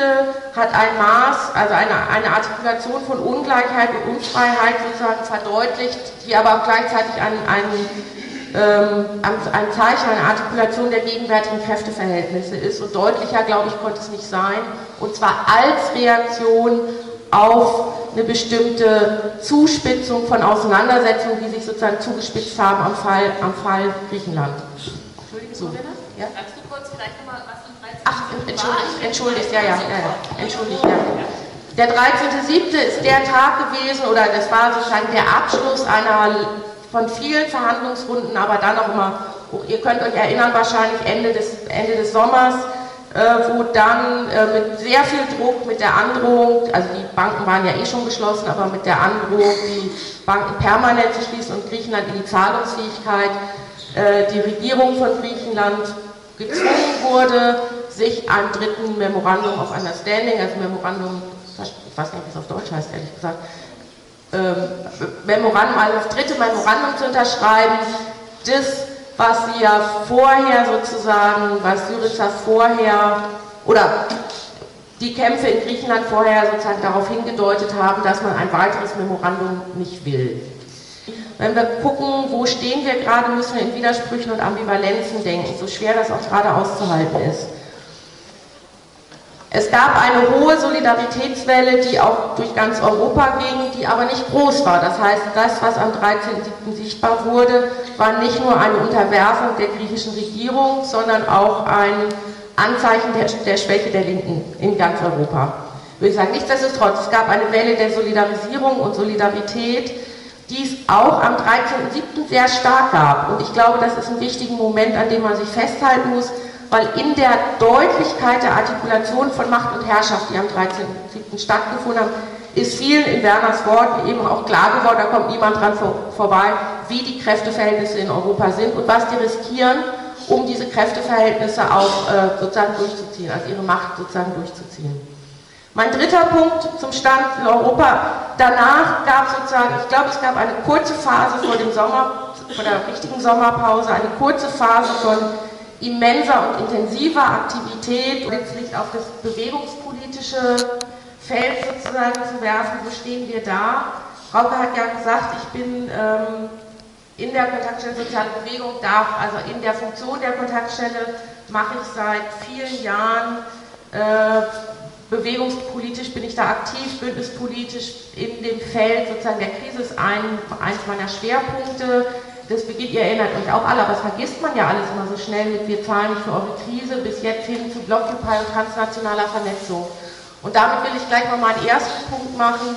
Wo stehen wir? Ich glaube, wenn wir uns die Frage stellen, wo stehen wir, müssen wir auch Geschichte rekapitulieren und wissen, dass Kämpfe und Auseinandersetzungen immer auch verschiedenen, in verschiedenen Intensitäten und verschiedenen Wellen laufen. Wenn wir jetzt auf den 13.07., also den sogenannten Coup, gucken und denken, das ist, war natürlich ein dramatisches Ereignis, will ich jetzt hier gar nicht schönreden, aber darf man nicht vergessen, dass es auch vorher schon Phasen von Schwäche und Stärke und Welle gab. Also ich finde für die weitere Diskussion und auch für unsere Frustration, die viele von uns haben und äh, Depressionen, die wir auch haben, muss man, muss man, glaube ich, bewegungspolitisch immer auch in Phasen und in gesellschaftlichen Dynamiken denken.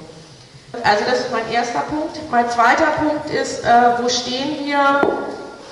Da ist, glaube ich, im Moment nicht schön zu reden. Der 13.7. hat ein Maß, also eine, eine Artikulation von Ungleichheit und Unfreiheit sozusagen verdeutlicht, die aber auch gleichzeitig ein, ein ähm, ein Zeichen, eine Artikulation der gegenwärtigen Kräfteverhältnisse ist. Und deutlicher, glaube ich, konnte es nicht sein.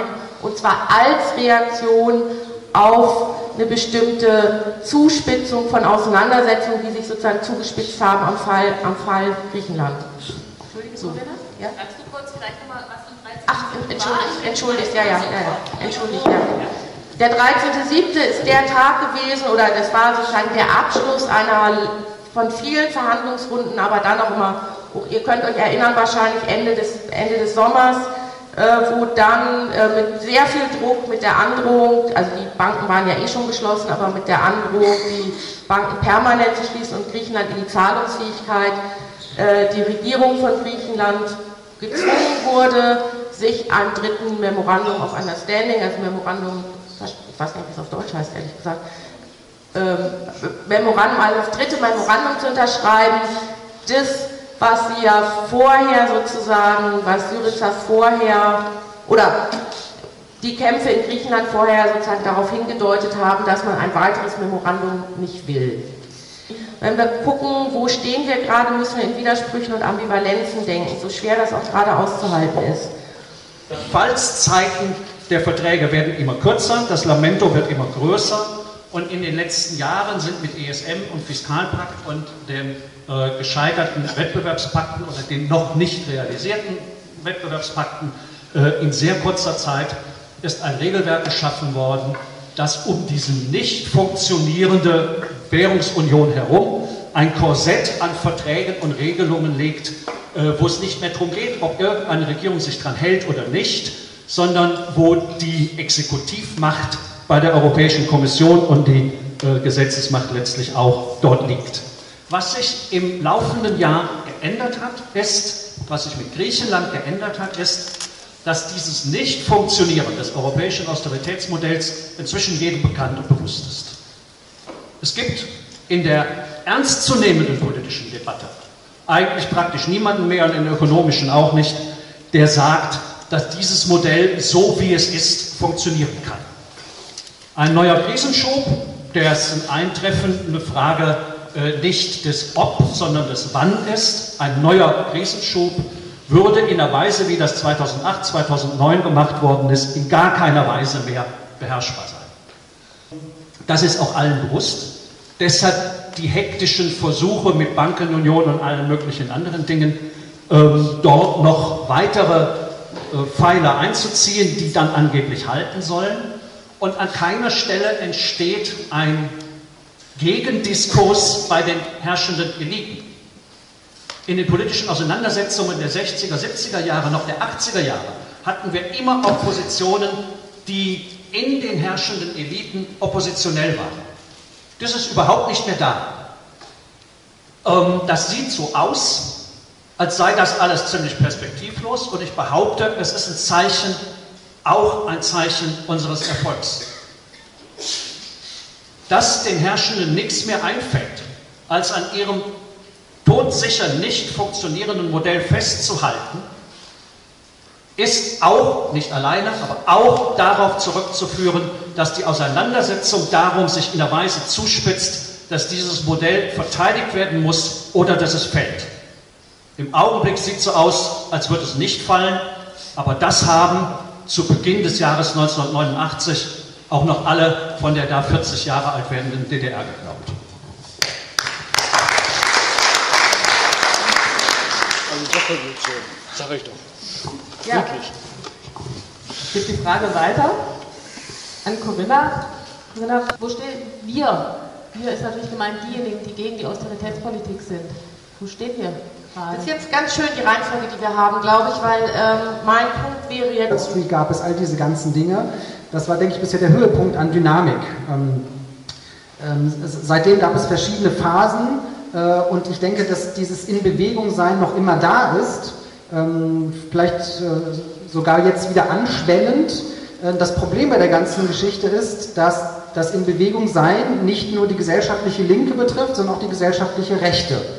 So, ähm, und das betrifft sicherlich gerade aktuell im Moment insbesondere die Bundesrepublik, das ist aber auch in anderen Ländern der Fall. Das heißt, wenn die Frage ist, wo wir stehen, dann beziehen wir Bewegung meistens auf die gesellschaftliche Linke, ähm, aber die gesellschaftliche Rechte, die ist eben auch unterwegs. Äh, in der Bundesrepublik insbesondere in Form von AfD, Pegida und so weiter und so fort. Und das sind im Moment diejenigen, die die Fähigkeit haben, das politische Spektrum zu bewegen, sprich nach rechts zu ziehen. Ähm, und zwar mit einem ja, hohen Tempo, würde ich sagen, mit einem bedrohlichen Tempo. Zur Austeritätspolitik. Ähm, also meine Analyse der Austeritätspolitik ist anders äh, als die von dir, Werner. Ich würde sagen, die Austeritätspolitik funktioniert hervorragend. Das Modell funktioniert hervorragend. Und ich glaube, dass es bei diesem Modell nicht um, naja, eine überzeitliche Stabilisierung von Finanzanlagen geht, sondern dass es vor allen Dingen da tatsächlich darum geht, die Machtverhältnisse zu restrukturieren in den Gesellschaften, ähm, Strukturanpassungsmaßnahmen durchzusetzen und ähm, die relativen Machtunterschiede zu vergrößern zwischen dem 1% und den unteren Bevölkerungsschichten. Und das hat bisher hervorragend funktioniert. Ähm, ähm, dankenswerterweise ähm, hatte mich die Linksfraktion vor ein paar Tagen eingeladen, um zum Thema Privatisierung in Griechenland bei einer Anhörung zu sprechen. Und wenn man sich da zum Beispiel die Privatisierungen anschaut, die bisher gelaufen sind, der Großteil dessen, was da privatisiert wurde, geht unmittelbar in die Hand von Leuten, egal ob das jetzt Leute mit griechischer Staatsangehörigkeit sind oder nicht, die auf der Forbes-Liste der oberen 500 stehen. Das ist sozusagen die Zielgruppe dieser ganzen schönen Privatisierungsmaßnahmen. Äh, das ist gar nicht die 1% äh, und die Leute, die ein paar Millionen auf dem Konto haben, sondern die, die im Wesentlichen davon profitieren, das sind eben die Leute, die auf der Forbes-Liste der 500 stehen, der 500 reichsten Personen. Also dieses Modell, denke ich, hat hervorragend funktioniert und dieses Modell wird weiter durchgedrückt. Es wird zunehmend autoritärer, ähm, dieses Modell, und es gibt eben tatsächlich keine Anzeichen bei den Eliten, dass sich da ähm, etwas ändert. Ähm, das heißt nicht, angesichts einer düsteren Prognose, dass die Hoffnung äh, völlig weg ist, dass sich etwas ändern lässt. Wie gesagt, Gesellschaften sind in Bewegung, aber die Situation ist ziemlich katastrophal. Es gibt eine frische Studie der Internationalen Arbeitsorganisation, die hat sich Austeritätspolitik mal angeschaut für die kommenden Jahre, insbesondere fürs folgende Jahr. Eine Situation, in der im Jahr 2013 äh, weltweit ein ähm, Brutto Sozialprodukt von etwa 75 Billionen US-Dollar produziert worden ist. Das Bruttosozialprodukt ist nicht identisch, das wisst ihr alle, mit der Masse der Güter und Dienstleistungen, die produziert worden sind, sondern nur mit der Masse der Güter und Dienstleistungen, die verkauft worden sind. Was nicht gekauft und verkauft worden ist, geht dann nicht ein. Ähm, und manches wird mehrfach verkauft und geht dann mehrfach ein. Äh, insofern muss man vorsichtig sein. Dies wie es manchmal oberflächlich geschieht, einfach als Realwirtschaft zu bezeichnen. Ähm, und wir haben auf der anderen Seite ähm, den gesellschaftlichen Reichtum gibt es im Kapitalismus ja immer. Es gibt ihn in zweierlei Form. Einmal in der Form der Güter und Dienstleistungen und zum Zweiten in der Form eines äh, des Wertes, äh, korrekt gesprochen oder ökonomisch unsauber und legt mich darauf jetzt bitte nicht fest, äh, in einer Preis- oder Geldform. Ähm, und dafür ist das Maß, äh, das man dafür heranziehen kann, das Finanzvermögen und das war im Jahre 2013 280 Billionen US-Dollar. Also etwa das Vierfache des weltweit produzierten Bruttosozialprodukts. Der Zweck der Austeritätspolitik besteht darin, dafür zu sorgen, dass diese 280 Billionen US-Dollar Finanzvermögen als ihren Besitzern als reales Kapital, als realer Reichtum erscheinen.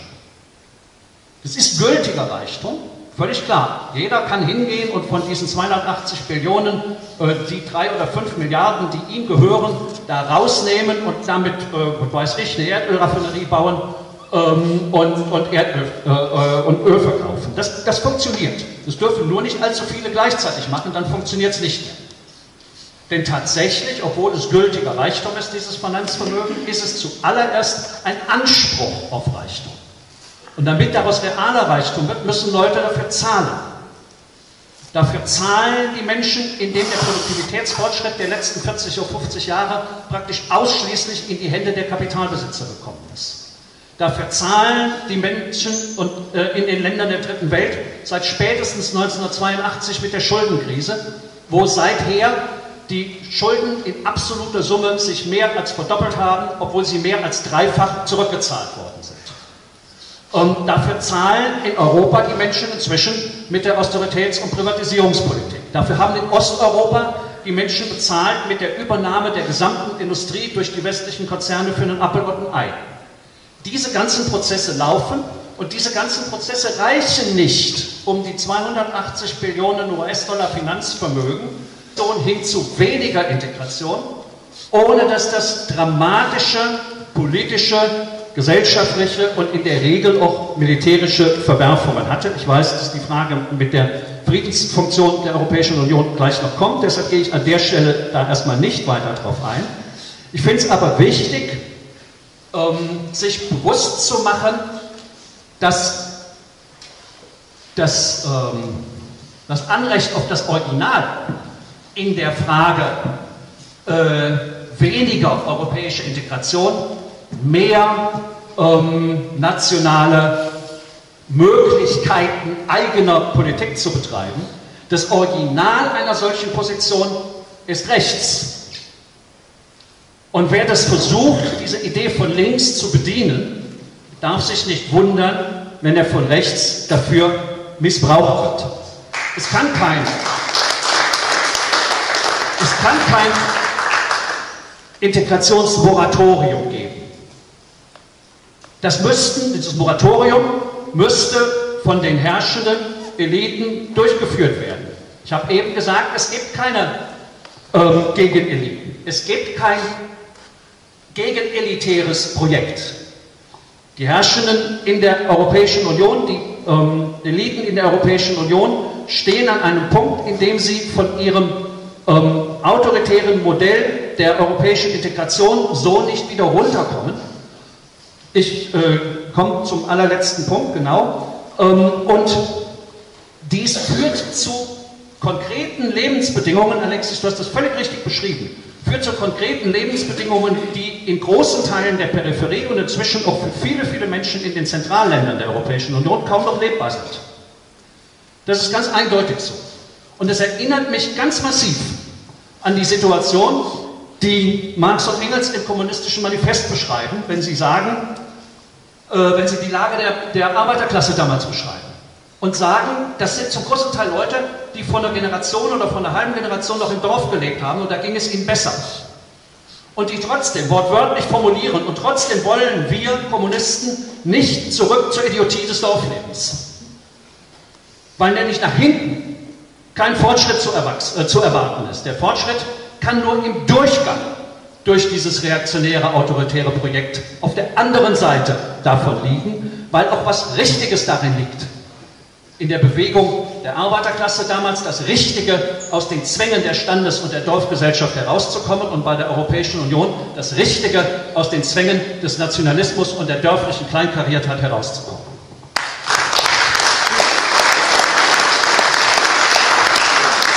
Der 13.7. Ich stimme auch zu, dass äh, die Rolle der Europäischen Union bzw. ihrer Vorläufergemeinschaften äh, an diesem Punkt ähm, von der tatsächlichen Bedeutung her äh, normalerweise politisch überschätzt wird, auch wenn es politisch für die Menschen in Deutschland und Frankreich, ich bin ja nun in der Generation aufgewachsen, wo die Kriegsgeneration und die, äh, für den, also die Generation, die den Krieg äh, auf dem Feld hat führen müssen und die Generation, die den Krieg politisch äh, zu verantworten hatte, ähm, noch politisch sehr aktiv waren und dieses Land gestaltet haben.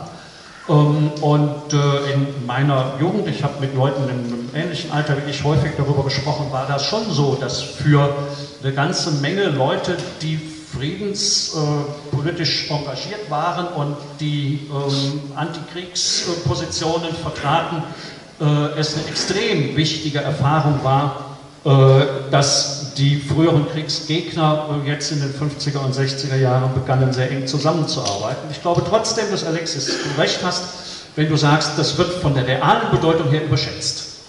Das ist auf der politisch-mentalen Ebene wichtig, aber von der realen Bedeutung her wird das überschätzt. Nur, ähm, ist das überhaupt die Frage, um die wir diskutieren müssen? Äh, es gibt diesen wunderschönen Satz von Kant, der sagt, es gibt Fragen, auf die zu antworten ist, wie wenn einer den Bock melkt und der andere das Sieb runterhält. Und dies hier scheint mir eine solche Frage zu sein. Es geht nicht darum, ob die Europäische Union heute die Funktion hat, Kriege zwischen ihren Hauptmächten zu verhindern. Auf diese Frage zu antworten ist müßig, weil sie sich so nicht stellt. Es stellt sich aber die Frage, was ist es denn eigentlich für ein Interesse, das in der Europäischen Union organisiert wird. Und organisiert wird in der Europäischen Union das Interesse der europäischen Exportbourgeoisie, übrigens nicht Deutschlands, sondern der europäischen Exportbourgeoisie. Das Interesse der europäischen Exportbourgeoisie auf Zugang zur Weltwelt. Niemand wird Exportweltmeister werden und bleiben können, wenn er in fremder Währung seinen Außenhandel abrechnen muss. Der entscheidende Punkt für die europäische Exportbourgeoisie ist der Euro. Und den werden sie mit Zähnen und Klauen und auch militärisch verteidigen. Da geht es nicht, äh, wie du das versucht hast zu banalisieren, Alexis, darum, ob Portugal und Griechenland einen Krieg miteinander anfangen, sondern da geht es darum, ob eine Disintegration der Europäischen Union nicht ihre Existenz als Friedensmacht, das ist Quatsch. Ob eine Desintegration der Europäischen Union den Zugang. Ich frage mich, ist das wirklich so? Kann man das so sagen? Gerade angesichts der ähm, aktuellen Entwicklungen in und um die EU herum. Also sicherlich ist es so, dass im öffentlichen Diskurs oft äh, die Europäische Union mit ähm, einem Friedensprojekt in Verbindung gebracht wird. Äh, die Europäische Union hat ja auch den Friedensnobelpreis bekommen. Äh, da gab es ja im Vorfeld einen großen Streit, wer nimmt den eigentlich entgegen. Äh, und das Ergebnis war Martin Schulz, Juncker und wer war die dritte Person, machen das zusammen. Äh, Juncker darf die Urkunde nehmen und irgendwas sagen, der andere darf die Urkunde halten und Martin Schulz kriegt die Medaille oder irgendwie sowas, damit eben alle drei auf dem Foto sind, der Verleihung des Friedensnobelpreises. Also ich würde die Geschichte des europäischen Kontinents ähm, äh, im 20. Jahrhundert äh, so interpretieren, dass die Tatsache, dass nach 1945 kein militärischer Konflikt oder kaum militärische Konflikte auf dem Kontinent stattgefunden haben, im Wesentlichen äh, in dem Ost-West-Konflikt begründet liegt und sozusagen der Stillstellung äh, von heißen Auseinandersetzungen. Ähm, außerdem waren zentrale Akteure äh, beschäftigt, damit militärische Auseinandersetzungen äh, sozusagen zu exportieren oder waren da drin verwickelt mit ihren Kolonialkriegen, Frankreich, Großbritannien, Niederlande, die da versucht haben, ihr Kolonialreich zu retten und so weiter und so fort. Von daher würde ich sagen, das war das zentrale Moment. Natürlich war die nicht Europäische Union, weil die, die gab es äh, im Wesentlichen noch nicht, zumindest die größte zweite, äh, die größten Teil der zweiten Hälfte nicht, so die Europäische Gemeinschaft oder Vorgängerstrukturen. Ähm, äh, diese Strukturen hatten durchaus auch mit einem Beitrag, aber der fiel nicht so ins Gewicht wie eben Ost-West-Konflikt, NATO, ähm, die sozusagen das alles stillgestellt haben, was da vielleicht noch möglich gewesen wäre ohne diese ähm, Dynamik. Ähm, plus, glaube ich, ist es auch eine, ja, also eine fast eine propagandistische Aussage, dass eben die entsprechenden Institutionen da so einen großen Anteil hatten. Äh, ich denke, dass auch einfach ähm, nach 45 einen großen Anteil für Aussöhnung und so weiter, zivilgesellschaftliche Auseinandersetzungen, Bewegungen hatten, äh, die eben die Versöhnung vorangetrieben haben, ähm, als ein weiterer Moment zum Beispiel ähm, und eben nicht die europäischen Institutionen äh, per se, die dann geschaffen wurden. Im Gegenteil, ich glaube, dass die europäische Union sich zu einem Imperium entwickelt. Ähm, es werden zunehmend militärische Kapazitäten aufgebaut, entwickelt, ähm, Einsätze mitgeplant, wie jetzt zum Beispiel Bekämpfung von Schleppern. Ähm, es gibt eine Dynamik hin zu einer europäischen Armee, also es gibt eine intensive programmatische Diskussion, auch in der europäischen Sozialdemokratie. Also das ist eher die Dynamik, dass ich sagen würde, es läuft sozusagen auf ein Imperium hinaus, was eben... Projekt aufgelöst worden ist von mehr Integration hin zu weniger Integration, ohne dass das dramatische politische, gesellschaftliche und in der Regel auch militärische Verwerfungen hatte. Ich weiß, dass die Frage mit der Friedensfunktion der Europäischen Union gleich noch kommt, deshalb gehe ich an der Stelle da erstmal nicht weiter drauf ein. Ich finde es aber wichtig, ähm, sich bewusst zu machen, dass das ähm, das Anrecht auf das Original in der Frage äh, weniger europäische Integration, mehr ähm, nationale Möglichkeiten eigener Politik zu betreiben. Das Original einer solchen Position ist rechts. Und wer das versucht, diese Idee von links zu bedienen, darf sich nicht wundern, wenn er von rechts dafür missbraucht wird. Es kann kein, es kann kein Integrationsmoratorium geben. Das müssten, dieses Moratorium müsste von den herrschenden Eliten durchgeführt werden. Ich habe eben gesagt, es gibt keine ähm, Gegeneliten. Es gibt kein gegenelitäres Projekt. Die Herrschenden in der Europäischen Union, die ähm, Eliten in der Europäischen Union stehen an einem Punkt, in dem sie von ihrem ähm, autoritären Modell der europäischen Integration so nicht wieder runterkommen.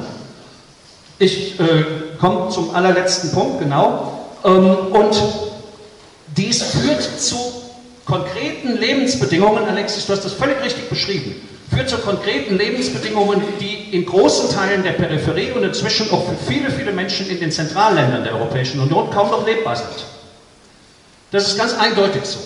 Und es erinnert mich ganz massiv an die Situation, die Marx und Engels im kommunistischen Manifest beschreiben, wenn sie sagen, äh, wenn sie die Lage der, der Arbeiterklasse damals beschreiben und sagen, das sind zum großen Teil Leute, die vor einer Generation oder vor einer halben Generation noch im Dorf gelebt haben und da ging es ihnen besser.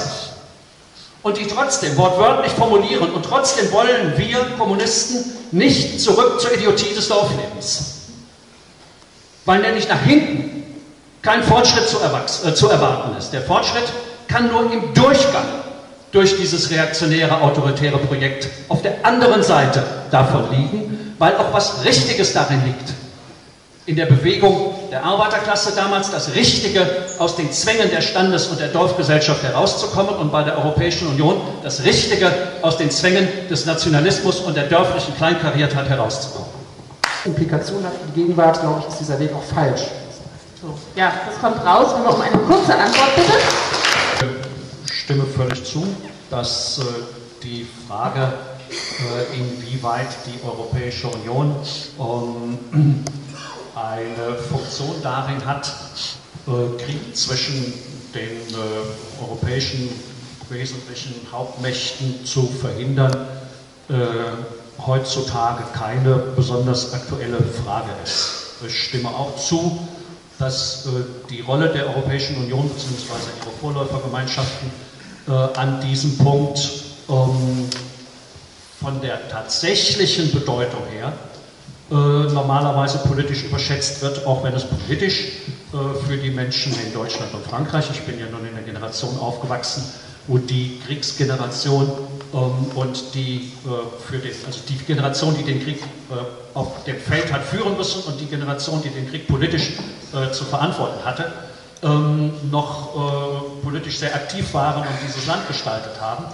Ähm, und in meiner Jugend, ich habe mit Leuten in einem ähnlichen Alter wie ich häufig darüber gesprochen, war das schon so, dass für eine ganze Menge Leute, die friedenspolitisch äh, engagiert waren und die ähm, Antikriegspositionen vertraten, äh, es eine extrem wichtige Erfahrung war, äh, dass die früheren Kriegsgegner jetzt in den 50er und 60er Jahren begannen, sehr eng zusammenzuarbeiten. Ich glaube trotzdem, dass Alexis du recht hast, wenn du sagst, das wird von der realen Bedeutung her überschätzt.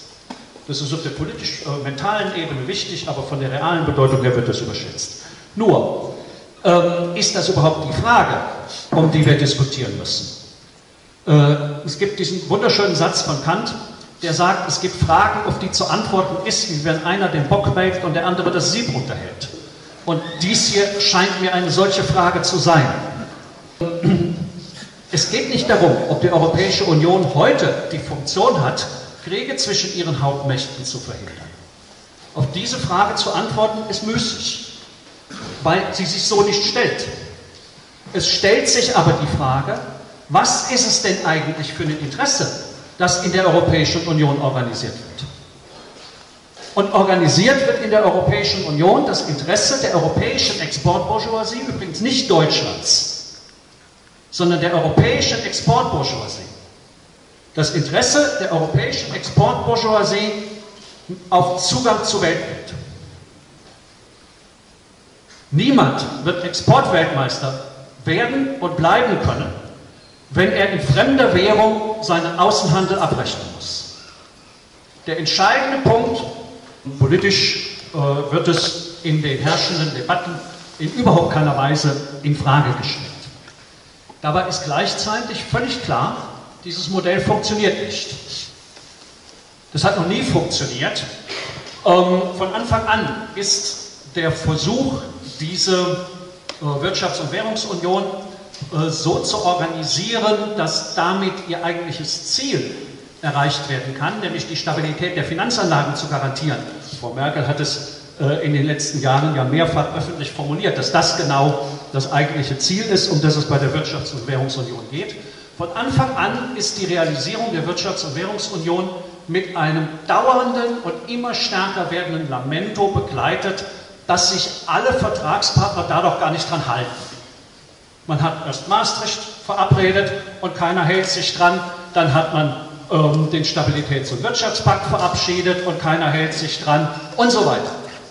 Verfallszeiten der Verträge werden immer kürzer, das Lamento wird immer größer und in den letzten Jahren sind mit ESM und Fiskalpakt und den äh, gescheiterten Wettbewerbspakten oder den noch nicht realisierten Wettbewerbspakten in sehr kurzer Zeit ist ein Regelwerk geschaffen worden, dass um diese nicht funktionierende Währungsunion herum ein Korsett an Verträgen und Regelungen liegt, äh, wo es nicht mehr darum geht, ob irgendeine Regierung sich daran hält oder nicht, sondern wo die Exekutivmacht bei der Europäischen Kommission und die äh, Gesetzesmacht letztlich auch dort liegt.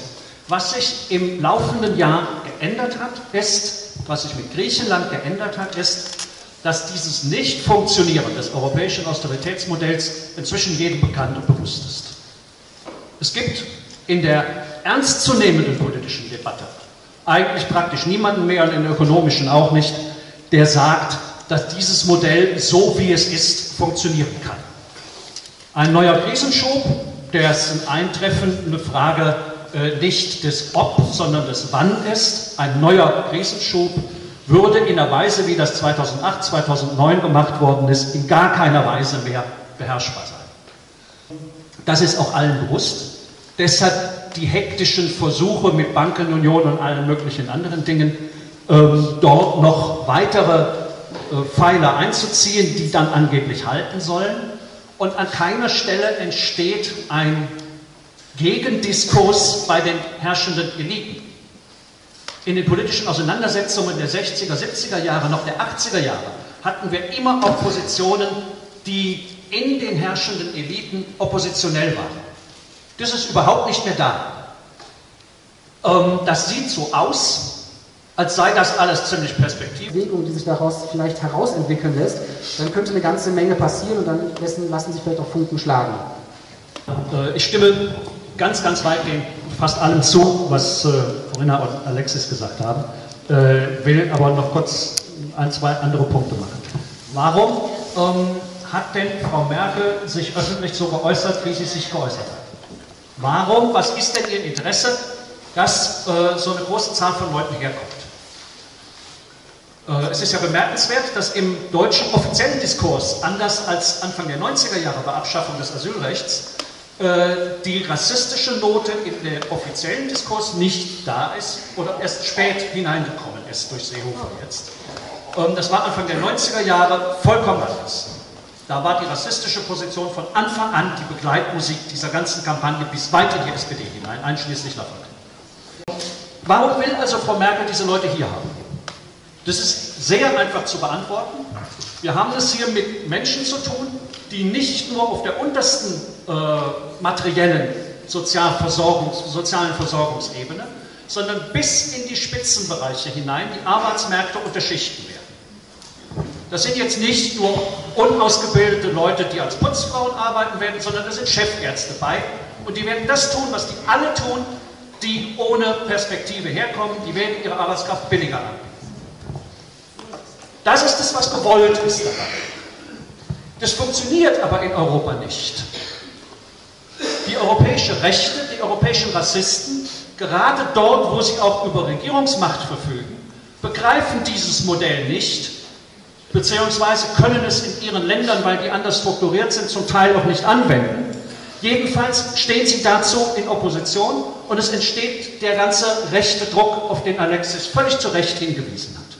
Gleichzeitig entsteht in Deutschland aber, das ist jetzt nicht von mir, sondern das habe ich von Martin Glasenapp äh, aus einer anderen Debatte geklaut, ähm, finde es aber wichtig, in Deutschland entsteht eine Situation, die wir so noch nie hatten. Das ist für mich als antideutsch geprägten Linken ein großes Problem, das so zu sagen. Aber es entsteht in Deutschland eine Situation, wo dieses Land so europäisch ist wie noch nie.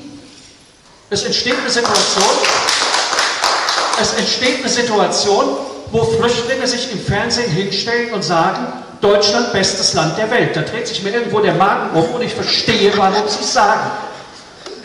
Und viereinhalb Millionen Menschen, sagt eine Studie, haben alleine im August und September praktische Hilfe geleistet bei der Betreuung und Versorgung von Flüchtlingen in Deutschland. Viereinhalb Millionen. So viel hat die deutsche Linke, soweit ich mich erinnern kann, nur Dabei ist gleichzeitig völlig klar, dieses Modell funktioniert nicht. Das hat noch nie funktioniert. Ähm, von Anfang an ist der Versuch, diese äh, Wirtschafts- und Währungsunion äh, so zu organisieren, dass damit ihr eigentliches Ziel erreicht werden kann, nämlich die Stabilität der Finanzanlagen zu garantieren. Frau Merkel hat es äh, in den letzten Jahren ja mehrfach öffentlich formuliert, dass das genau das eigentliche Ziel ist, um das es bei der Wirtschafts- und Währungsunion geht. Von Anfang an ist die Realisierung der Wirtschafts- und Währungsunion mit einem dauernden und immer stärker werdenden Lamento begleitet, dass sich alle Vertragspartner da doch gar nicht dran halten. Man hat erst Maastricht verabredet und keiner hält sich dran. Dann hat man ähm, den Stabilitäts- und Wirtschaftspakt verabschiedet und keiner hält sich dran und so weiter. Verfallszeiten der Verträge werden immer kürzer, das Lamento wird immer größer. Und in den letzten Jahren sind mit ESM und Fiskalpakt und den äh, gescheiterten Wettbewerbspakten oder den noch nicht realisierten Wettbewerbspakten äh, in sehr kurzer Zeit ist ein Regelwerk geschaffen worden, das um diese nicht funktionierende Währungsunion herum ein Korsett an Verträgen und Regelungen legt, äh, wo es nicht mehr darum geht, ob irgendeine Regierung sich daran hält oder nicht, sondern wo die Exekutivmacht bei der Europäischen Kommission und die äh, Gesetzesmacht letztlich auch dort liegt. Was sich im laufenden Jahr geändert hat, ist, was sich mit Griechenland geändert hat, ist, dass dieses Nicht-Funktionieren des europäischen Austeritätsmodells inzwischen jedem bekannt und bewusst ist. Es gibt in der ernstzunehmenden politischen Debatte eigentlich praktisch niemanden mehr und in der ökonomischen auch nicht, der sagt, dass dieses Modell so wie es ist funktionieren kann. Ein neuer Krisenschub, dessen Eintreffen eine Frage äh, nicht des Ob, sondern des Wann ist, ein neuer Krisenschub, würde in der Weise, wie das 2008, 2009 gemacht worden ist, in gar keiner Weise mehr beherrschbar sein. Das ist auch allen bewusst. Deshalb die hektischen Versuche mit Bankenunion und allen möglichen anderen Dingen, ähm, dort noch weitere Pfeiler einzuziehen, die dann angeblich halten sollen. Und an keiner Stelle entsteht ein Gegendiskurs bei den herrschenden Eliten. In den politischen Auseinandersetzungen der 60er, 70er Jahre, noch der 80er Jahre hatten wir immer Oppositionen, die in den herrschenden Eliten oppositionell waren. Das ist überhaupt nicht mehr da. Ähm, das sieht so aus, als sei das alles ziemlich perspektivlos und ich behaupte, es ist ein Zeichen, auch ein Zeichen unseres Erfolgs.